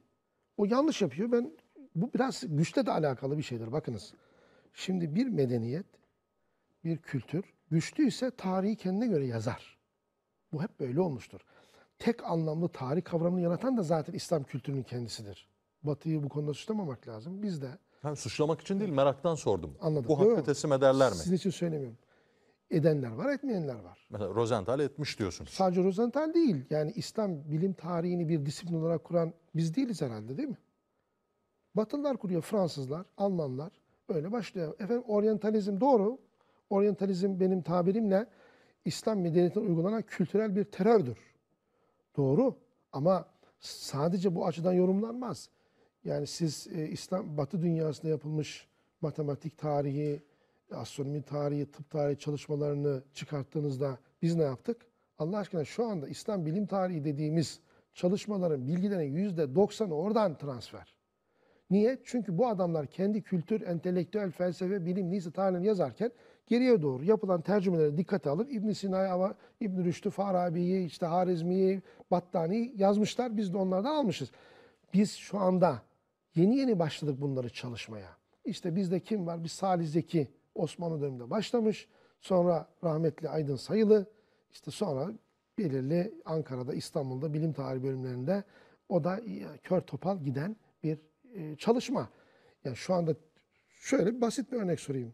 İslam astronomi tarihindeki en önemli uzmanlar nerede? Türkiye'de mi? Tıp tarihinde yani biraz şey olalım. E, entelektüel hani piramidiyel dedik ya tam aşağıda yeni geldiğinde son derece ideolojik, duygusal hissi olmak, politik olmak. Tamam. Hakikatin ifade biçimleri vardır. Bir vatandaşa bunu ifade etmenin tarzı başkadır. Aynı hakikati yukarıya ifade etme. Şimdi entelektüel bir insansan sen eğer bunu görmek zorundasın. Burada duygusal davranmanın bir anlamı yok. Biz İslam, bilim, felsefe, entelekt neyse tarihini onlardan öğreniyoruz hala. Sadece bunu konuşmakla İslam gelecek, dertler bitecek ya da işte Türk İslam medeniyeti, İslam Türk medeniyeti bunlarla olmaz bu iş. Onun için diyorum övgü ve sövgü değil, bilgiye ihtiyacımız var. Anlatabiliyor muyum? Önce oturup bu metinleri, dökümü çıkartacaksın. Sonra bu metinleri neşredeceksin. Sonra bunların üzerine çalışacaksın. Yani Farabi diyorsun, İbn Sina diyorsun. Ve bunları zaten onlardan öğrendik. Ha bizim kültürümüzde bunların kendine göre bir yeri vardı şüphesiz ama tarihsel anlamda söylüyorum. Ee, bunlar üzerine bir şey kattık mı? Farabi'nin eserlerini tercüme ettik mi Türkçe'ye? Elkanı Fıttık'ın hala doğru dürüst bir Türkçe tercümesi yok. Enteresan. Neşri yok doğru dürüst. Ee, hadi bakın şeyi geçtim. Osmanlı dönemindeki matematik metinlerini, işte Timuriler dönemi, Memluklar döneminde şu anda en önemli Memluk bilim tarihi, astronomi, matematik uzmanları kimler? Şimdi dolayısıyla bu kadar e, basit değil mesele. Anlatabiliyor muyum? Yani bir medeniyetin, bir kültürün, bir e, e, politik organizasyonun belirli konulardaki üretimi öyle basit bir hadise değil. O çok değişkenli, e, karmaşık bir hadisedir. E, sözel, yani yine sözcüklere düşündüğümüz için, bunların mefhumlarını bilmediğimiz için e, çok rahat çıkarımlarda bulunuyoruz. E, Yunan medeniyetini, Helenistik medeniyeti, Pers medeniyetini çekip alın, İslam'da ne kalır? Nedir onun payı mesela? Aynı şeyi Batı medeniyetinde söyleyebilirsiniz. Batı'dan İslam'ı çekip alın ne kalır? Yani kendinden önceki beslendiği kaynak. Ama bu Bu gayet, gayet doğal, bir şey. doğal bir şey. Uzaydan gelmiyoruz ki. Yani dünyada Akdeniz dünyasında yaşıyorsunuz. Tamam mı? uzaydan gelmiyorsunuz, dışarıdan gelmiyorsunuz. İnsanlığın üretimiyle muhatap olarak iş yapıyorsunuz. Ama sizin burada tabii ki çok yeni bir hayat görüşünüz var. Ve İslam bu hayat görüşünü o klasik kadim birikimi uygulayarak dönüştürüyor. Kendine mal ediyor, onun üzerine yeni şeyler ekliyor. Gayet doğal. Yani Komplekse de gerek yok, kavgaya da gerek Hayır yok efendim zaman. yani bunu kesinlikle bilmediğimiz için müsbet ya da menfi, olumlu ya da olumsuz tavır takınıyoruz. Bilen bir insan burada ne erinir, ne yerinir, ne dövünür. Ee, ne utanır, ne de çığlık atar. Bilgi insana sükunet getirir. Aa, böyleymiş bu, gayet güzel der, devam edersin. Ama biz e, bilgiyle muhatap olmak biraz e, yüktür. Oturacaksın, çalışacaksın, düşüneceksin, dili öğreneceksin, metin okuyacaksın. E, bunlar birikim işidir, süreklilik işidir. E, bunları yapmamak için yani bir saatlik işi yapmamak için beş saat harcıyoruz maalesef. Evet. Böyle bir psikolojimiz var. Peki yine bana ilginç gelen bir husus, bunu da dostlar duysun isterim. O çok özür dilerim. O Rosenthal'in cümlesini söyleyeyim. Franz Rosenthal biliyorsun mukaddimeyi İngilizceye tercüme eden.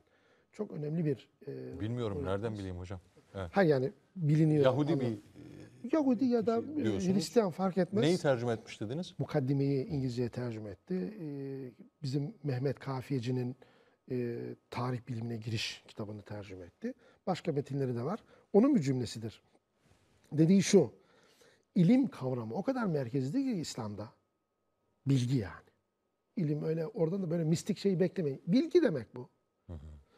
Bil, Hazreti Ali'nin dile getirdiği bilgi. İnsan eşittir bilgi diyor ya bilgi o kadar merkezi bir kavramdır kavramdır ki İslam kelimesinin eş anlamlısı haline gelmiştir. Dolayısıyla İslam kelimesini görmesek bile, o tarihten hani bir mekanizma kaldırsak bile ilim kavramı baki kaldığı müddetçe İslam tarihte bakidir.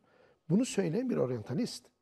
Bu son derece önemli nokta. Niye? Halbuki biz şöyle biliyoruz, hani ezberimiz şu, İslam Müslümanların ilerlemesine mani oldu.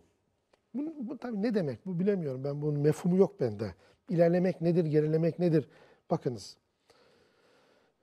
Bir medeniyet belirli bir aşamasında e, başka bir medeniyetin çeşitli açılardan gerisinde kalabilir. Bunu yeri gelmişken söyleyeyim. Biz geriledik falan değil. Batı'da yeni şeyler oldu. Bunu anlamamız lazım. Biz Batı'yı da bilmiyoruz. Bilmek de istemiyoruz. Kaç tane uzmanımız var bu konuda? taklidi kastetmiyorum. Orada ne olup bitti?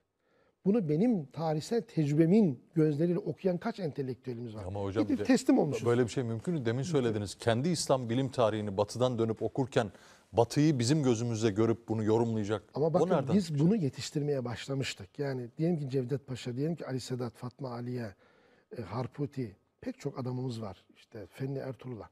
Yani kendi tarihsel tecrübesine sahip olup batıda olup biteni anlamaya çalışan çok ciddi entelektüellerimiz var. Burada da psikoloji, orada çok yeni şeyler oldu. Yani doğanın e, matematikleştirilmesi ne demektir? Mekanikleştirilmesi ne demektir? Yeni doğa felsefesinin ilkeleri nelerdir? Bunları bizim anlamamız lazım. Ve bunları sadece entelektüel bir faaliyet olarak değil. E, şimdi çok teknik bir şey olacak ama e, 1800 1931'e kadar e, genelde bilimi biz böyle tarih dışı efendim bir veri olarak kabul ediyorduk. Halbuki öyle değil. Newton'un not defterine baktığınız zaman ki bunu Boris Hessen, e, Grossman diye Rus ve Polonyalı iki bilim adamı gösterdiler. E, not defterinde bütün bütün olmasa bile çoğu bilimsel teorilerini kendi döneminin e, ticari efendim teknik sorularından hareket ederek ürettiğini görürsünüz. Bilim dediğimiz, felsefe dediğimiz hadise o total yekpare insanlığın üretiminden, toplum üretiminden bağımsız bir şey değil. Yani insanlar spor olsun diye bilim yapmıyorlar. Spor olsun diye astronomi yapalım. Kopernik astronomisinin ortaya çıkmasının en nedeni bir takvim sorusudur.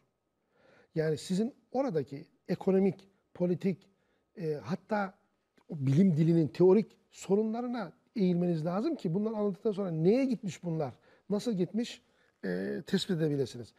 Basit bir örnek söyleyeyim. Ticareti olmayan bir kültürün mesela entelektüel faaliyetleri ne kadar olabilir?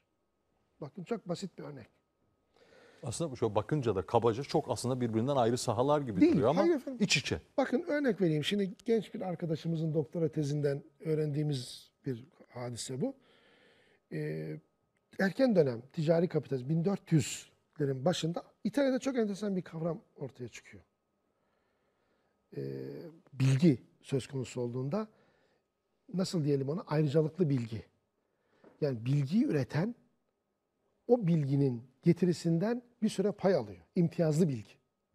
Bu patent kavramını doğuruyor. Yok o bizde. İslam dünyasında, medeniyetinde bilgi, imtiyazlı bilgi diye bir şey yok. Diyelim ki siz kunduracısınız. Ku- Yeni bir kundura keşfettiniz. Olabilir. Şimdi bu kundurayı bir hafta siz satarsınız yeni. Ondan sonra bütün teşkilata vermeniz lazım. Çünkü bilginin imtiyazı yok. Bu en basit bir teknik bilgiden en üst bilgiye kadar böyle. Ama ticari Ha, imtiyazı olmayışından mı paylaşım Şimdi imtiyazlı bilgi şunu doğurmuş. Herkes o şeyden, üretimden pay alabilmek için bilgi üretmeye, icat etmeye çalışıyor.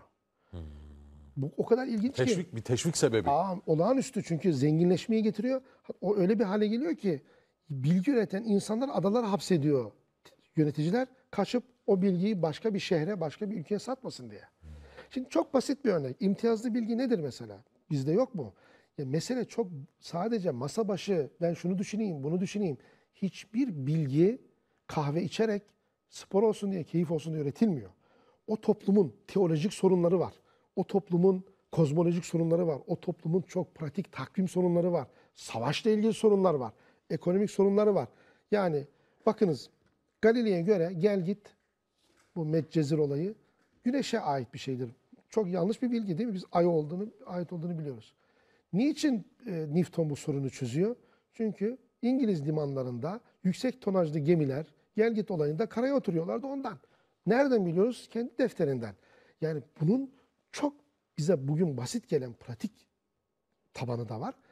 Sonra bunu üretirken o üretimin yarattığı teorik dilin soruları da var. Bunlar iç içe geçmiş şeylerdir. Yani bilim dediğimiz hadise toplumun dışında transcendent bir şey değil. Bağlamsal tarafı var. Elbette onu üreten aklın ona kattığı teorik bir tarafı da var. Bunları birlikte düşünmek lazım. Yani biz sorunlarımızla uğraşacağız. Bak, bir basit bir örnek vereyim. Japonlar bilim ne zaman yapmaya başladılar? Japonlar biliyorsunuz Hollanda sömürgesiydiler. Sonra daha da sömürge demeyelim ama etkisindeydiler. E, Newton'un fiziğini tercüme ettiler. Sonra e, İngiliz, Amerikalıların etkisi altına girdiler. Japonya'da tarımda bir mikrop, virüs, bakteri diyelim, bakteri yayılıyor. Avrupa'dan ilaç getirtiyorlar, işe yaramıyor. Çok ilginç. Japonlar buna bu nasıl çözeceğiz? Yani en gelişmiş bilim bunlar da biz bunu nasıl halledeceğiz diyorlar. E, bir tane Japon tesadüfen farklı ilaçları birbirine karıştırıyor ve işe yarıyor. Japonlar diyorlar, aa biz bunu yapabiliyoruz. Biz bilim üretebiliyoruz. Özgüven kazanıyorlar. Bağışlayın ama hani bu Çok basit. çok özür dilerim. Ne olur bağışlayın ama bunu bana mesela bir kişisel gelişim uzmanı anlatsa vay derim. Ama siz hakikaten böyle mi olmuş? Bakın- Japonların bilimle tanışması bu mu? Hayır hayır. Bilim üretme, Üretme özgüvenini ihtiyacı- kazanmaları. Kazanmaları. Çünkü yıllarca Çin'in e, uydusuydular. Çinler ne yaparsa onlar da onu yaptılar. Sonra Hollanda'nın ve Amerika'nın. İlk defa kendileri bir şey yaptı başkalarından almadan. Bu çok önemli.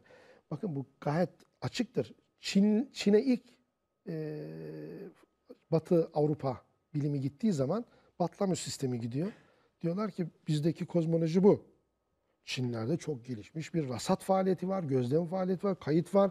İslam'ı da biliyorlar. Çünkü Meraga, Nasrettin Tuzi zamanında Çinli astronomlar İlhanlar döneminde gelip Meraga'da, Azerbaycan, Güney Azerbaycan çalışmış. İslam astronomisini biliyorlar. Şimdi bunlar getir, şaşırmıyorlar tamam Batlam. Sonra Tycho Brahe astronomisi geliyor yaklaşık bir 10 yıl sonra. Çinliler diyorlar ki Batılılar değişti bakın yeni bir sistem var. Allah Allah. 15 yıl sonra Kopernik astronomisi geliyor. Çinler oturup barbar bilimleri araştırma enstitüsü kuruyor. Barbar bilimi dedikleri batı bilimi. Çünkü bir millet diyor Çinliler 30 yıl içerisinde 3 tane kozmoloji görüşü olur mu ya? Bu adamların kafası karışık. Şimdi anlatabiliyor muyum meseleyi? Dolayısıyla bu iş öyle basit, e, yalın, çizgisel değil. Çok değişken var. Parametreleri çok iyi bilmek gerekiyor. E, Dolayısıyla İslam medeniyeti analiz ederken de İslam'ın ekonomik koşulları, bir de İslam hangi İslam? Endülüs mü? Orta Asya mı? Mısır mı? Afrika mı? Türk Böyle bir şey yok. Yani belirli dönemler, coğrafyalar e, değişiktir. dertler değişiktir, sorunlar değişiktir, sorular değişiktir. Niye teorik astronomi hep e, Anadolu, İran ve Türkistan hattında ortaya çıkmış? Niye mesela e, üçüncü derece denklemler Endülüs'te yok da şeyde var, Merv'de var, Ömer Hayyam. Ya bunların hepsini analiz edeceksiniz. Böyle çok basit. Çünkü övgü ve sövgü mantığıyla hareket ettiğimiz için biz şunu ürettik, biz bunu yaptık, şunu yaptık. Niye yaptık, niçin yaptık, derdimiz neydi? Bunları sormadığımız müddetçe Şimdi sorun şu e, Serdar Bey. Değerlerle düşünmek insanın önünü keser. E, değerlerle düşündüğünüz zaman yükselirken o değerlere her şeyi yüklersiniz. Biz Müslümandık dolayısıyla bunu yaptık dersiniz. Peki düşerken o zaman yine değerleriniz Müslümanlıktan uzaklaştık onun için düştük. ya da Müslümanlık bizi bu hale getirdi dersiniz. Halbuki e, dini inanç ya da ahlaki yapılar o insanlığın insanlık kümesinin bir parçasıdır. Sizi siz yapan sadece onlar değil ki. Pek çok değişken var. Buna çok dikkat etmemiz lazım. Hocam şimdi kitapları okurken yaşadığım hal programda da ortaya çıkmaya başladı. Hani programı bir böyle e, sorularımız cevap bulsun diye değil, tam tersi sorularımız artsın diye yapıyoruz biz. Bugün ne kadar çok, güzel. sorumuz artarsa o kadar güzelleşecek. Sevgili hocamın e, şöyle söyleyeyim, üç günde dört kitabını okuma gayretine düşen ilk adam benimdir zannediyorum. Perişanlığı var onun. O üç günün perişanlığı var çünkü Fuzuli ne demek istedi? Işkımış her ne var alemde ilim bir kıylu kalimiş ancak beytinden. Daha doğrusu dörtlüğün son iki mısrağından hareketle ortaya çıkmış bir kitap. Anlayacağım derken antik Yunan'a da gidiyorsunuz, Hind'e de gidiyorsunuz, Çin'e de gidiyorsunuz. İlim nedir, bilgi nedir, nereden doğmuş, ne olmuş? Yani şu kitabı tam manasıyla anlayabileceğim demek için en az bir 40 kitap daha okumak icap ediyor. Soru doğuyor. Kayıp Halka, İslam Türk Felsefe Bilim Tarihi'nin anlam küresi. Gene ona keza bunları gösteriyorum ki işte bu soruların adedini artırmanıza vesile olsun diye ve kendini aramak. Yine enteresan. Akıllı Türk, Makul Tarih yine enteresan bir kitap. Azıcık hızlanmazsak ben Esas sorularımı tabii soramayacağım. Nazariyat dergimiz daha e, kitaplardan önemlidir diye düşünüyorum. Evet bu ilk sayısıyla İslam Felsefe Bilim Tarihi Araştırmaları Dergisi Nazariyat. Bu e, Türkçe ve İngilizce aynı anda yayınlanıyor. Dolayısıyla uluslararası bir meydan okumayı da e, iddia ediyoruz bu konuda.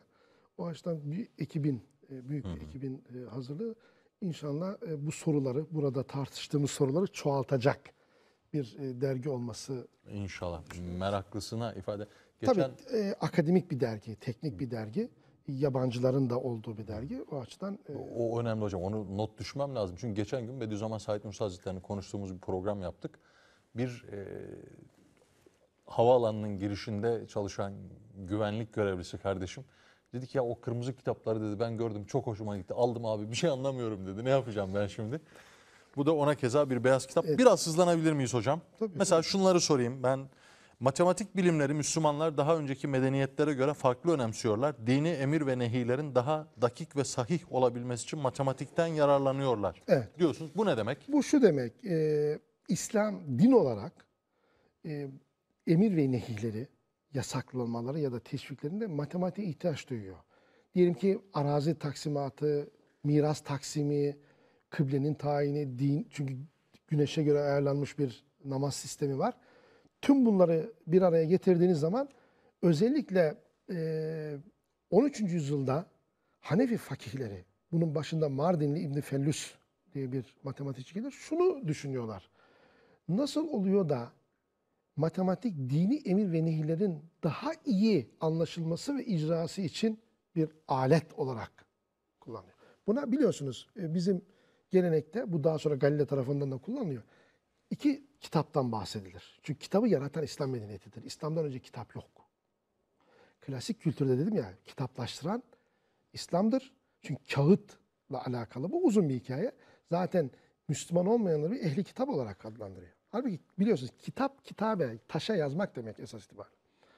Şimdi e, kitabı tekvini ve kitabı tenzili ayrımı vardır bizim gelenekte. Ne demek? Yaratılan kitap, indirilen kitap. İndirilen kitap Kur'an-ı Kerim. Şimdi şunu düşünüyorlar. Yaratılan, ya indirilen kitabı anlamak için matematik elverişli ise, elverişli ise o zaman yaratılmış kitap yani kainatı anlamak için de bu bir alet olarak kullanılabilir. Bu çok önemli bir nokta. Müthiş. Ve 13. yüzyıl özellikle Meraga Matematik Astronomi Okulu'nun çalışmalarından sonra gelişen süreçte ki bunun kelami, metafizik arka planında var. matematiğin doğaya tatbiki açılıyor. Nitekim nazariyattaki ilk makale de bununla alakalıdır. İslam medeniyetinde doğanın matematik üzerinden idraki konusunda yapılan tartışmalar nelerdir diye. O cümlenin kısaca anlamı budur. Nitekim hani o cümleyi ifade ettiğiniz konuşmanıza devamında diyorsunuz ki matematik İslam dünyasında siyasi, idari, dini meşruiyetin bir kaynağı Evet. olarak görülebilir. Tabii. Bu da böyle ilk duyuşta müthiş iddialı bir ifade gibi geliyor. Hayır. Şimdi muhasebe sistemini düşünün devletin. Vergi sistemini düşünün. Arazi taksimatı yapacaksınız. Değil mi? Yani imparatorluktan bahsediyoruz. Vergi sistemini şöyle bir canlandırın kafanızda. Bütün bunlar matematik üzerinden yürüyor. Öyle değil mi? E, dini emir ve nehirlerden biraz önce bahsettim. Dolayısıyla iyi bir siyasi organizasyon iyi matematiktir. Bakın Aşık Paşazade Osmanlı tarihi 2. Beyazıt döneminde yazmıştır. Devletleşmeyi defter tutmakla başlatır.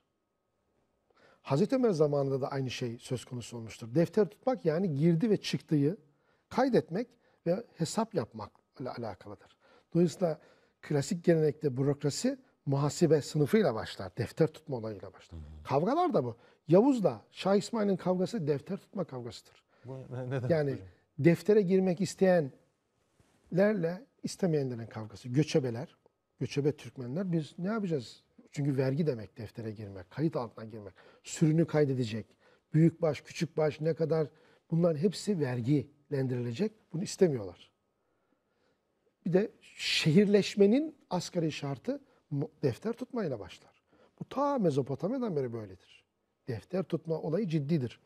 Dolayısıyla e, İslam medeniyetinde hem idari teşkilat, hem askeri teşkilat, hem dini teşkilat, bakın bütün e, büyük camiler birer muvakkathanedir küçük. Yani çünkü namaz vakitlerini tayin edeceksiniz değil mi? Bütün en basit Karadeniz'deki bir köyde bile e, astronomi aleti kullanır e, oradaki merkez camideki bulunan müezzin. Küçük bir astronomdur yani. Tabii Karadeniz'deki bir köyden bahisle bir oflu basit diye bahsederse ola ki incinenler olur. Karadeniz'de basit köy olur mu hocam? Ofta olmaz. Diğer yerlerde olabilir. Evet. Peki matematikle başladık ama biraz daha genelleyelim hadise. Müslüman oluşum bilime yaklaşımdaki etkileri. Doğa yaklaşım. İbn Sina, Biruni, Ali Kuşçu. Nelerdir Müslüman oluş? Nasıl bir farklılık getirmiş yaklaşmada? Şimdi e, bu çok genel bir soru tabii. Bu uzun bir soru ama İslam'ın bilime, e, bilmeye diyelim, evreni bilmeye, varlığı bilmeye en önemli katkısı şudur. Bunu Hegel felsefe tarihinde söyler. E, Max Weber de ifade eder. Tanrı'dan başka bir doğada etkin neden saymayınca doğadaki bütün mistik, spiritüel unsurları temizliyorsunuz doğayı bir madde olarak, evreni bir madde olarak idrak etmenin önünü açıyor. Bu tabii çok teknik bir konu. Ama bu İbrahimi dinlerin ve özellikle İslam'ın e, getirdiği bir şeydir. İslam bana sorarsanız hani diğer bütün katkıları yanında bilme faaliyetinin en önemli katkısı tevhid inancını aklın ilkesi haline getirmesidir. Tevhid İslam'dan önce var. Ama bir akide olarak var. Bir inanç şeyi var. İslam bunu e, bir metafizik ilke, aklın ilkesi haline getiriyor ve bunu üç kanaldan yürütüyor. Bir, e, sosyal hayat. Nedir o? Rububiyet. Tevhid-i rububiyet. Yani Tanrı'dan başka yasanın kaynağı olmaz. İnsan ancak Tanrı'nın önünde eğilir. İki, tevhid-i uluhiyet. Evrende Tanrı'dan başka mistik, ruhi, spiritüel hiçbir etki yoktur. Tanrı'ya ait de doğa, do- doğa kendi Tanrı'nın ona koyduğu yasalık içerisinde cereyandır. Bir de tevhid-i vücudiyet yani metafiziğin temel kavramı olan varlık kavramı açısından. Bu bile tek başına bütün o insanlığı dönüştürmüştür. Bunun üzerine 10 saat konuşabiliriz. E, Bilimi eğer o kültür havzasının ortak bir üretimi kabul edersek Batı'da özellikle Batı Avrupa'da gelişen bilim e, doğayı matematikleştirilmesi, mekanikleştirilmesi, doğanın bu spiritüel unsurlardan temizlenmesi. Biz buna bilim felsefesinde disenchantment diyoruz. Doğanın e, büyüden arındırılması. Tanrıcıklardan, tanrımsı varlıklardan arındırılması, bir madde olarak kabul edilmesi. Bu tabii biraz abartılmıştır Batı'da. Doğayı tamamen anlamdan e, temizliyorlar. Ama neticede İslam'ın e, bakın sadece tevhid ilkesinden bahsettim. Bilmeye, idrak etmeye getirdiği olağanüstü e, yenilikler ya da şeyler var. Zemin var. Bu uzun ve önemli. Peki İslam'ın getirdikleri deyince yine bir cümlenizden hareketle bir şey soracağım ama biraz böyle derin gittiğimiz için arada bir soluklanma ihtiyacı duyuyoruz. O soluklanma ihtiyacı için şu enteresan bir anekdottu hocam. Modern bilimin ortaya çıkmasındaki en önemli etkenlerden biri Türk korkusudur. Ha. Galileo ve teleskop. Onu bir söylesin azıcık böyle bir zihnimiz rahatlasa sonra öbür soruyu sorsam size. Doğru. Bu hatta ben bunu bir konferansta kullandım. Bunu tweet olarak sosyal medyada paylaşınca biraz yanlış da anlaşıldı. Bu arada Twitter'da da varsınız siz. Yani Bütün e, çağdaş iletişim ve ulaşım araçlarını kullanmak zorundayız. bugün enteresan bir tweet attınız onu da soracağım birazdan. Öyle mi? Evet. Siz de demek ki varsınız. Şimdi bu şu, e, şununla alakalı. Batı Avrupa'da e, olan yapı, ortaya çıkan yapıyı sadece entelektüel bir yapı olarak görmemek lazım. Orada çeşitli bunalımlar var. Bunlardan bir tanesi de teolojik bunalımdır ve bu teolojik bunalımın kaynağı Türklerdir, Osmanlılardır. Çünkü Türk, Bat, kilise kendini mutlak iyinin temsilcisi olarak görüyor. Mutlak kötünün temsilcisi olan bir güç karşısında yenilince şu soruyu soruyorlar. Nasıl olur da mutlak iyi, mutlak kötünün karşısına yenilir? Bir meşruiyet problemi var o zaman. Nitekim protestanlık hareketinin kurulması en nedeni mutlak iyinin temsili yanlış olduğu için. Tabii. Mutlak iyi de problem yok, Yok. ama Ama onun yorumunda problem problem, var. var. O zaman Nitekim Türklerle kiliseyi şeytan olarak kabul eder protestanlar. Aynı, aynı şeytanı iki farklı tezahür olarak kabul ederler.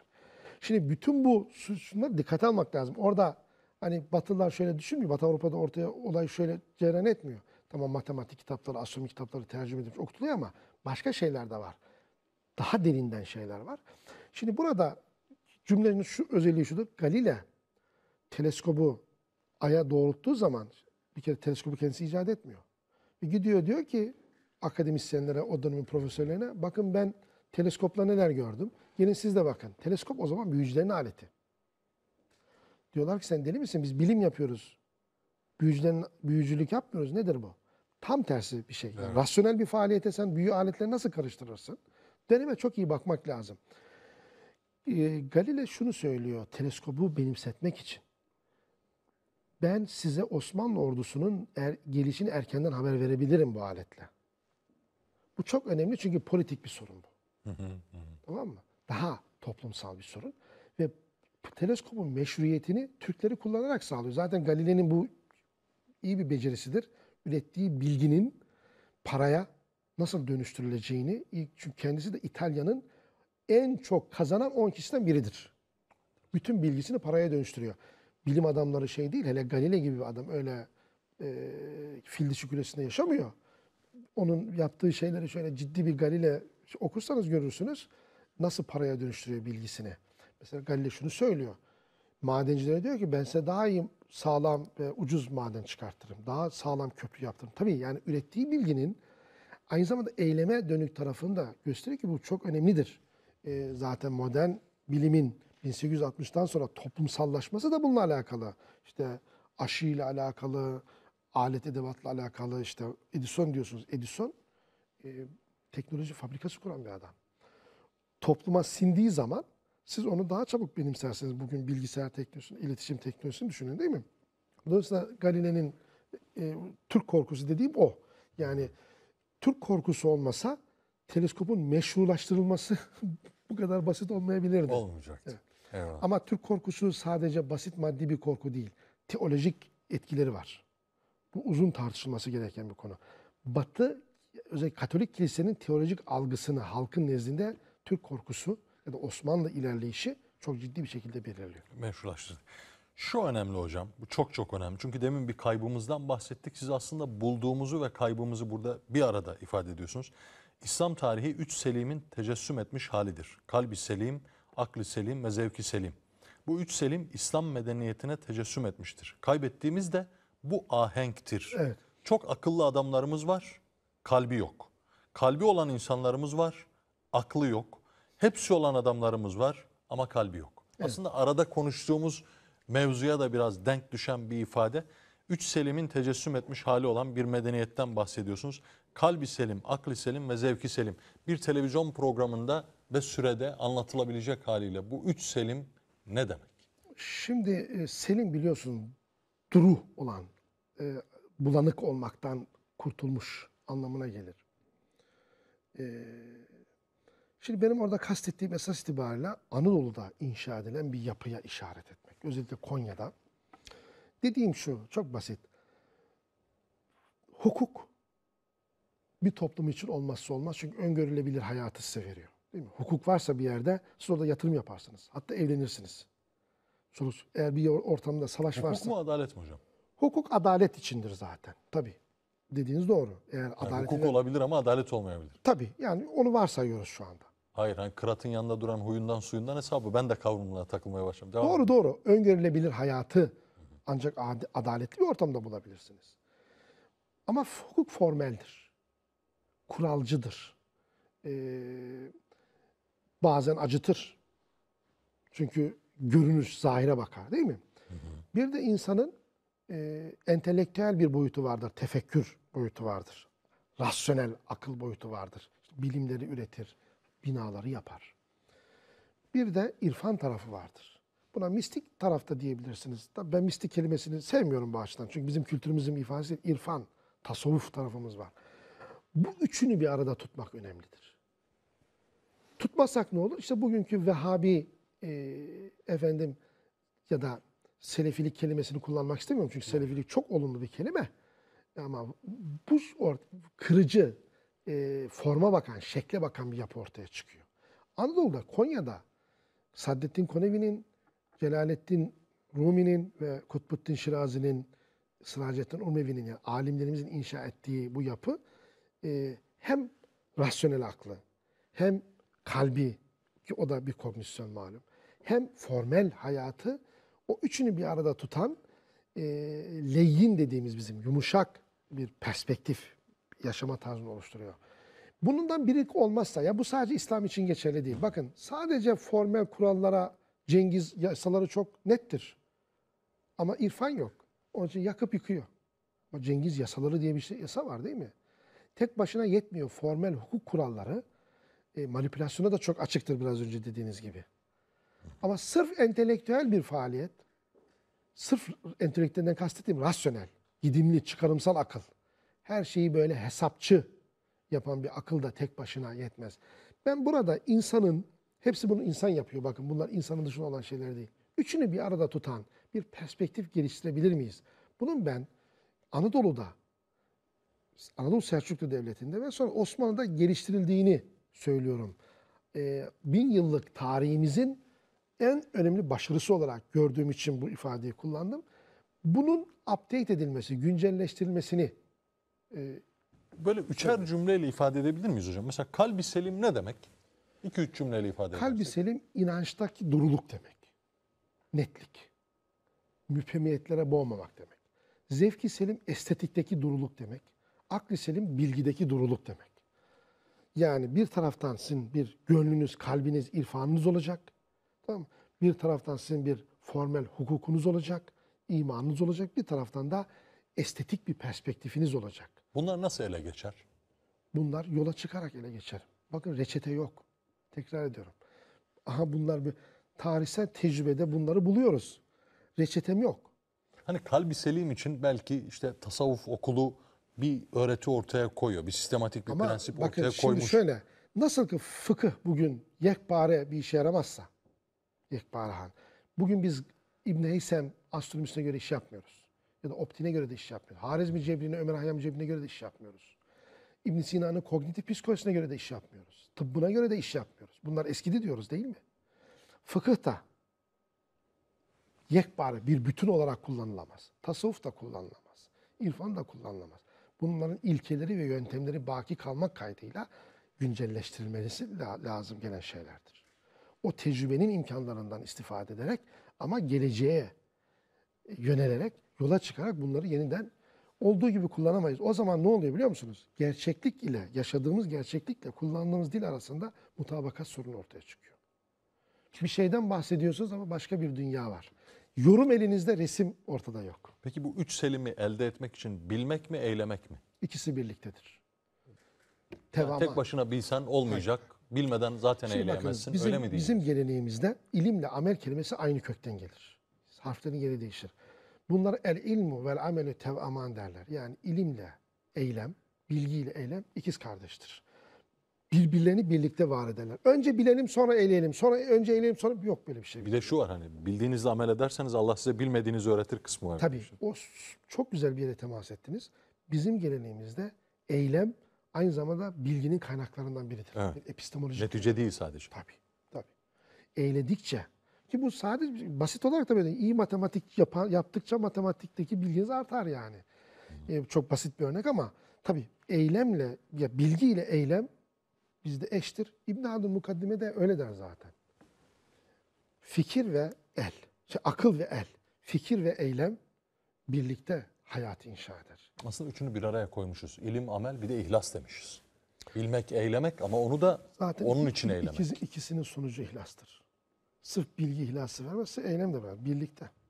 Hulusiyet. İhlas ikisinden bir netice olarak doğar mı Zaten hocam? ihlas neticedir zaten. Hulasadan gelir ihlas. Yani ama şöyle değil mi özür dilerim. Hani bildiniz, eylediniz ama hem bilip hem eylemenize rağmen ihlasınız olmayabilir. İhlassız eyleyebilirsiniz. Ama irfanınız eksikse ihlasta problem olabilir tabii. Yani burada burada bireysellik ortaya çıkıyor. Şimdi İslam e, İbn Arabi'nin Fusus-i Kimi'nin son faslında malumunuz Hazreti Peygamber'in önemli özelliği nedir? Ferdiyet. Fert olmak önemli.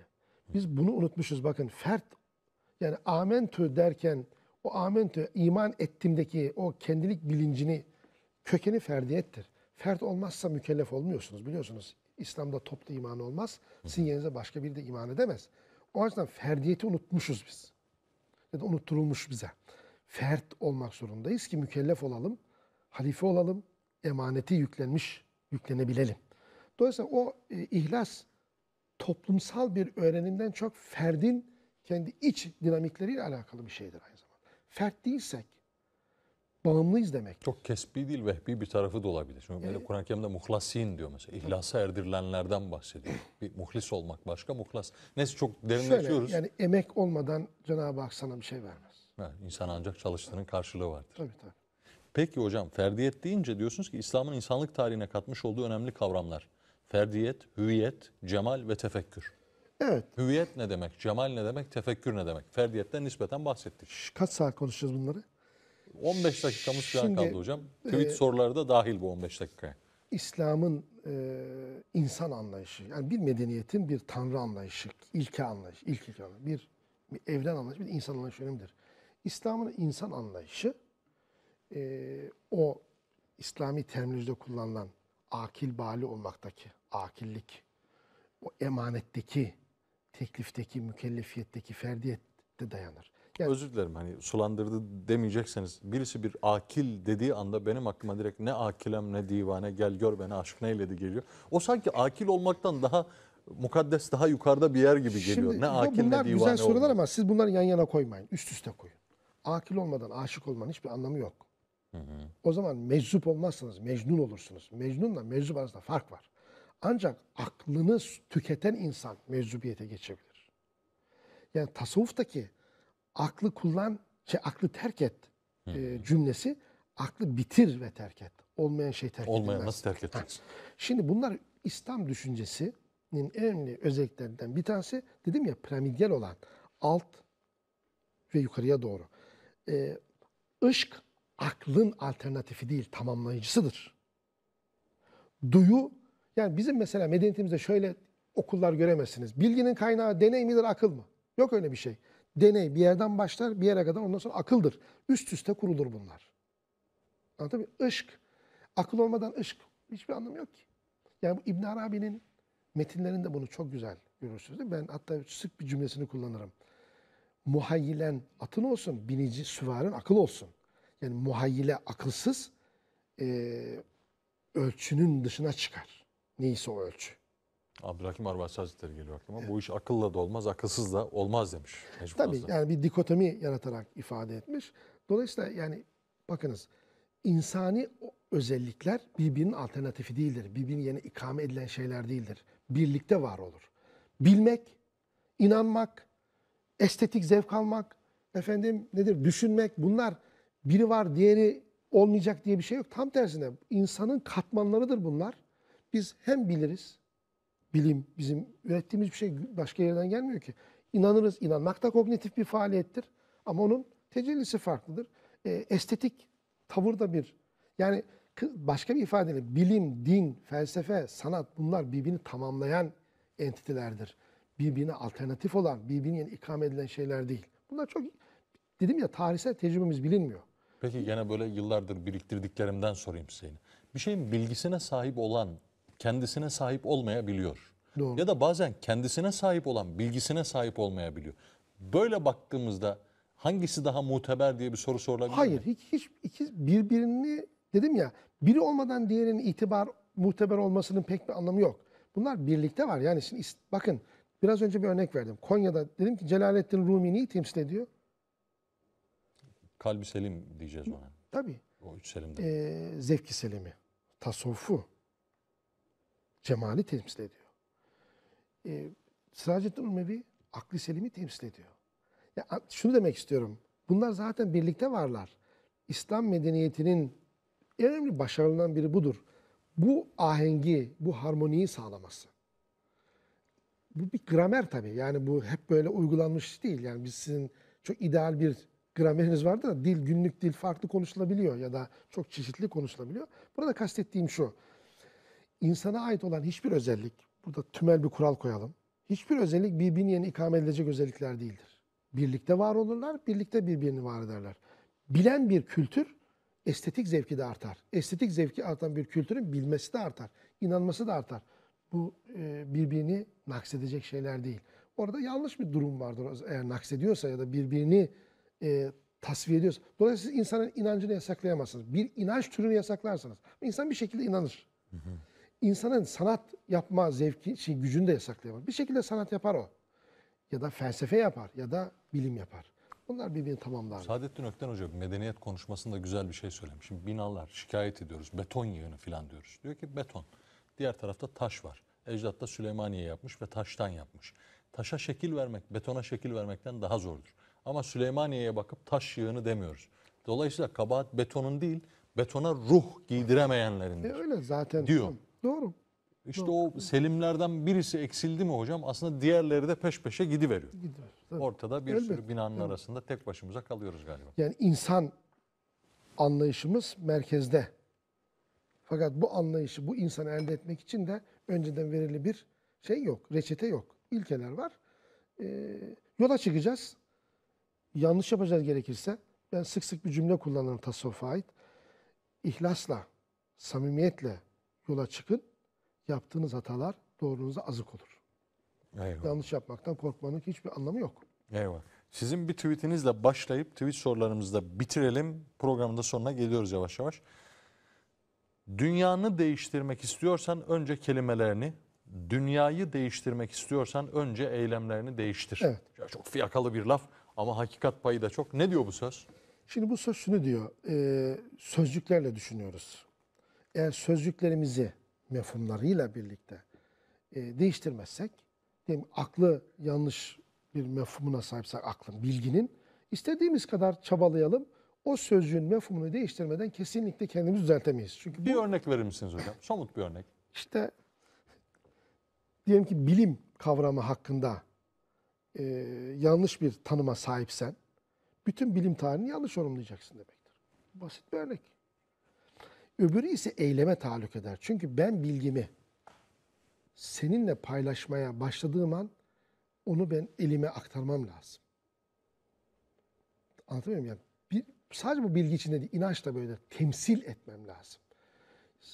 E, ele aktarılan bir şey, başkasına teklif edilen bir şeyin paylaşılabilirliğini artırmamız gerekiyor.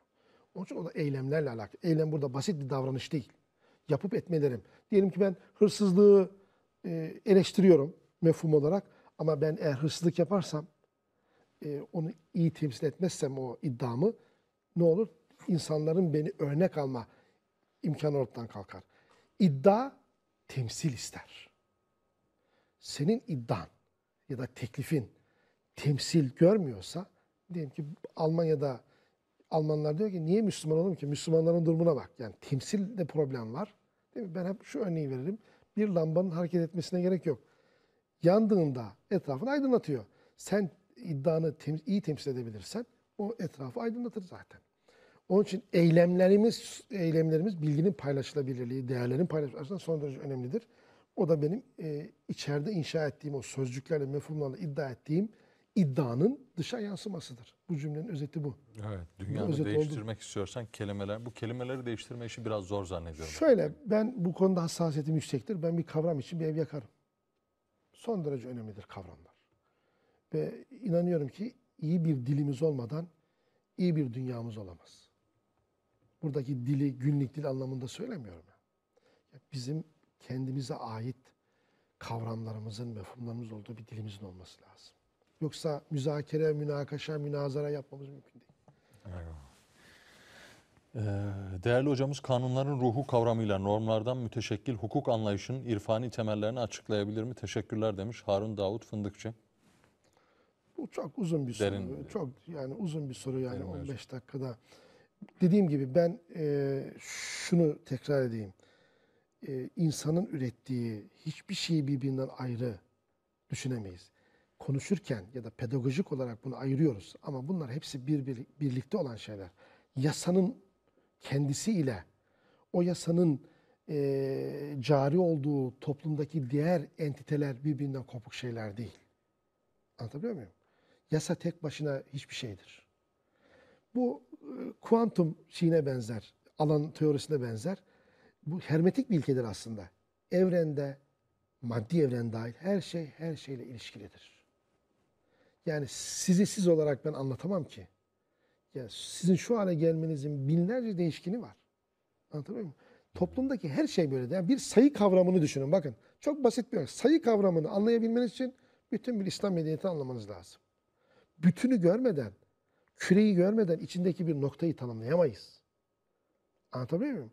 En önemli problemlerimizden biri de bu. Nokta üzerine konuşalım diyorsun da e, nokta dairenin bir parçası, kürenin bir parçası. Evet. Bir diğer soru. İslam tarihindeki felsefe bilim dahilerinin küfre sapma, tehdit ve korkusuyla kısıtlanmış olduğunu düşünüyorum. Ya şimdi bir de şöyle bir şey söyleyeyim. Tabii kesinlikle soru soru arkadaşı tenzih ederim ama her soruya da cevap veremeyiz. Yani eee, en azından bu program çerçeve içerisinde. Herkes bir şey söyler.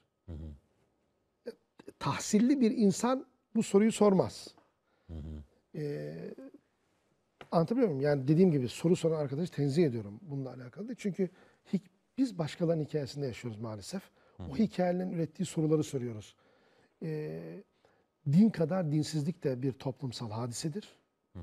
Ee, bunun tek başına dinle ya da dindarlıkla alakası yok. Bir dolu parametre var. Bir Tabii, yerden bakıp tabii, bu soruya tabii. nasıl cevap verelim Tabii ki yani bir de Bir diğer kardeşim, özür dilerim buyurunuz. Buyurun. Bir de dediniz. bir de e, kurumsal dinle Tanrı inancı da birbirine karıştırmamak lazım.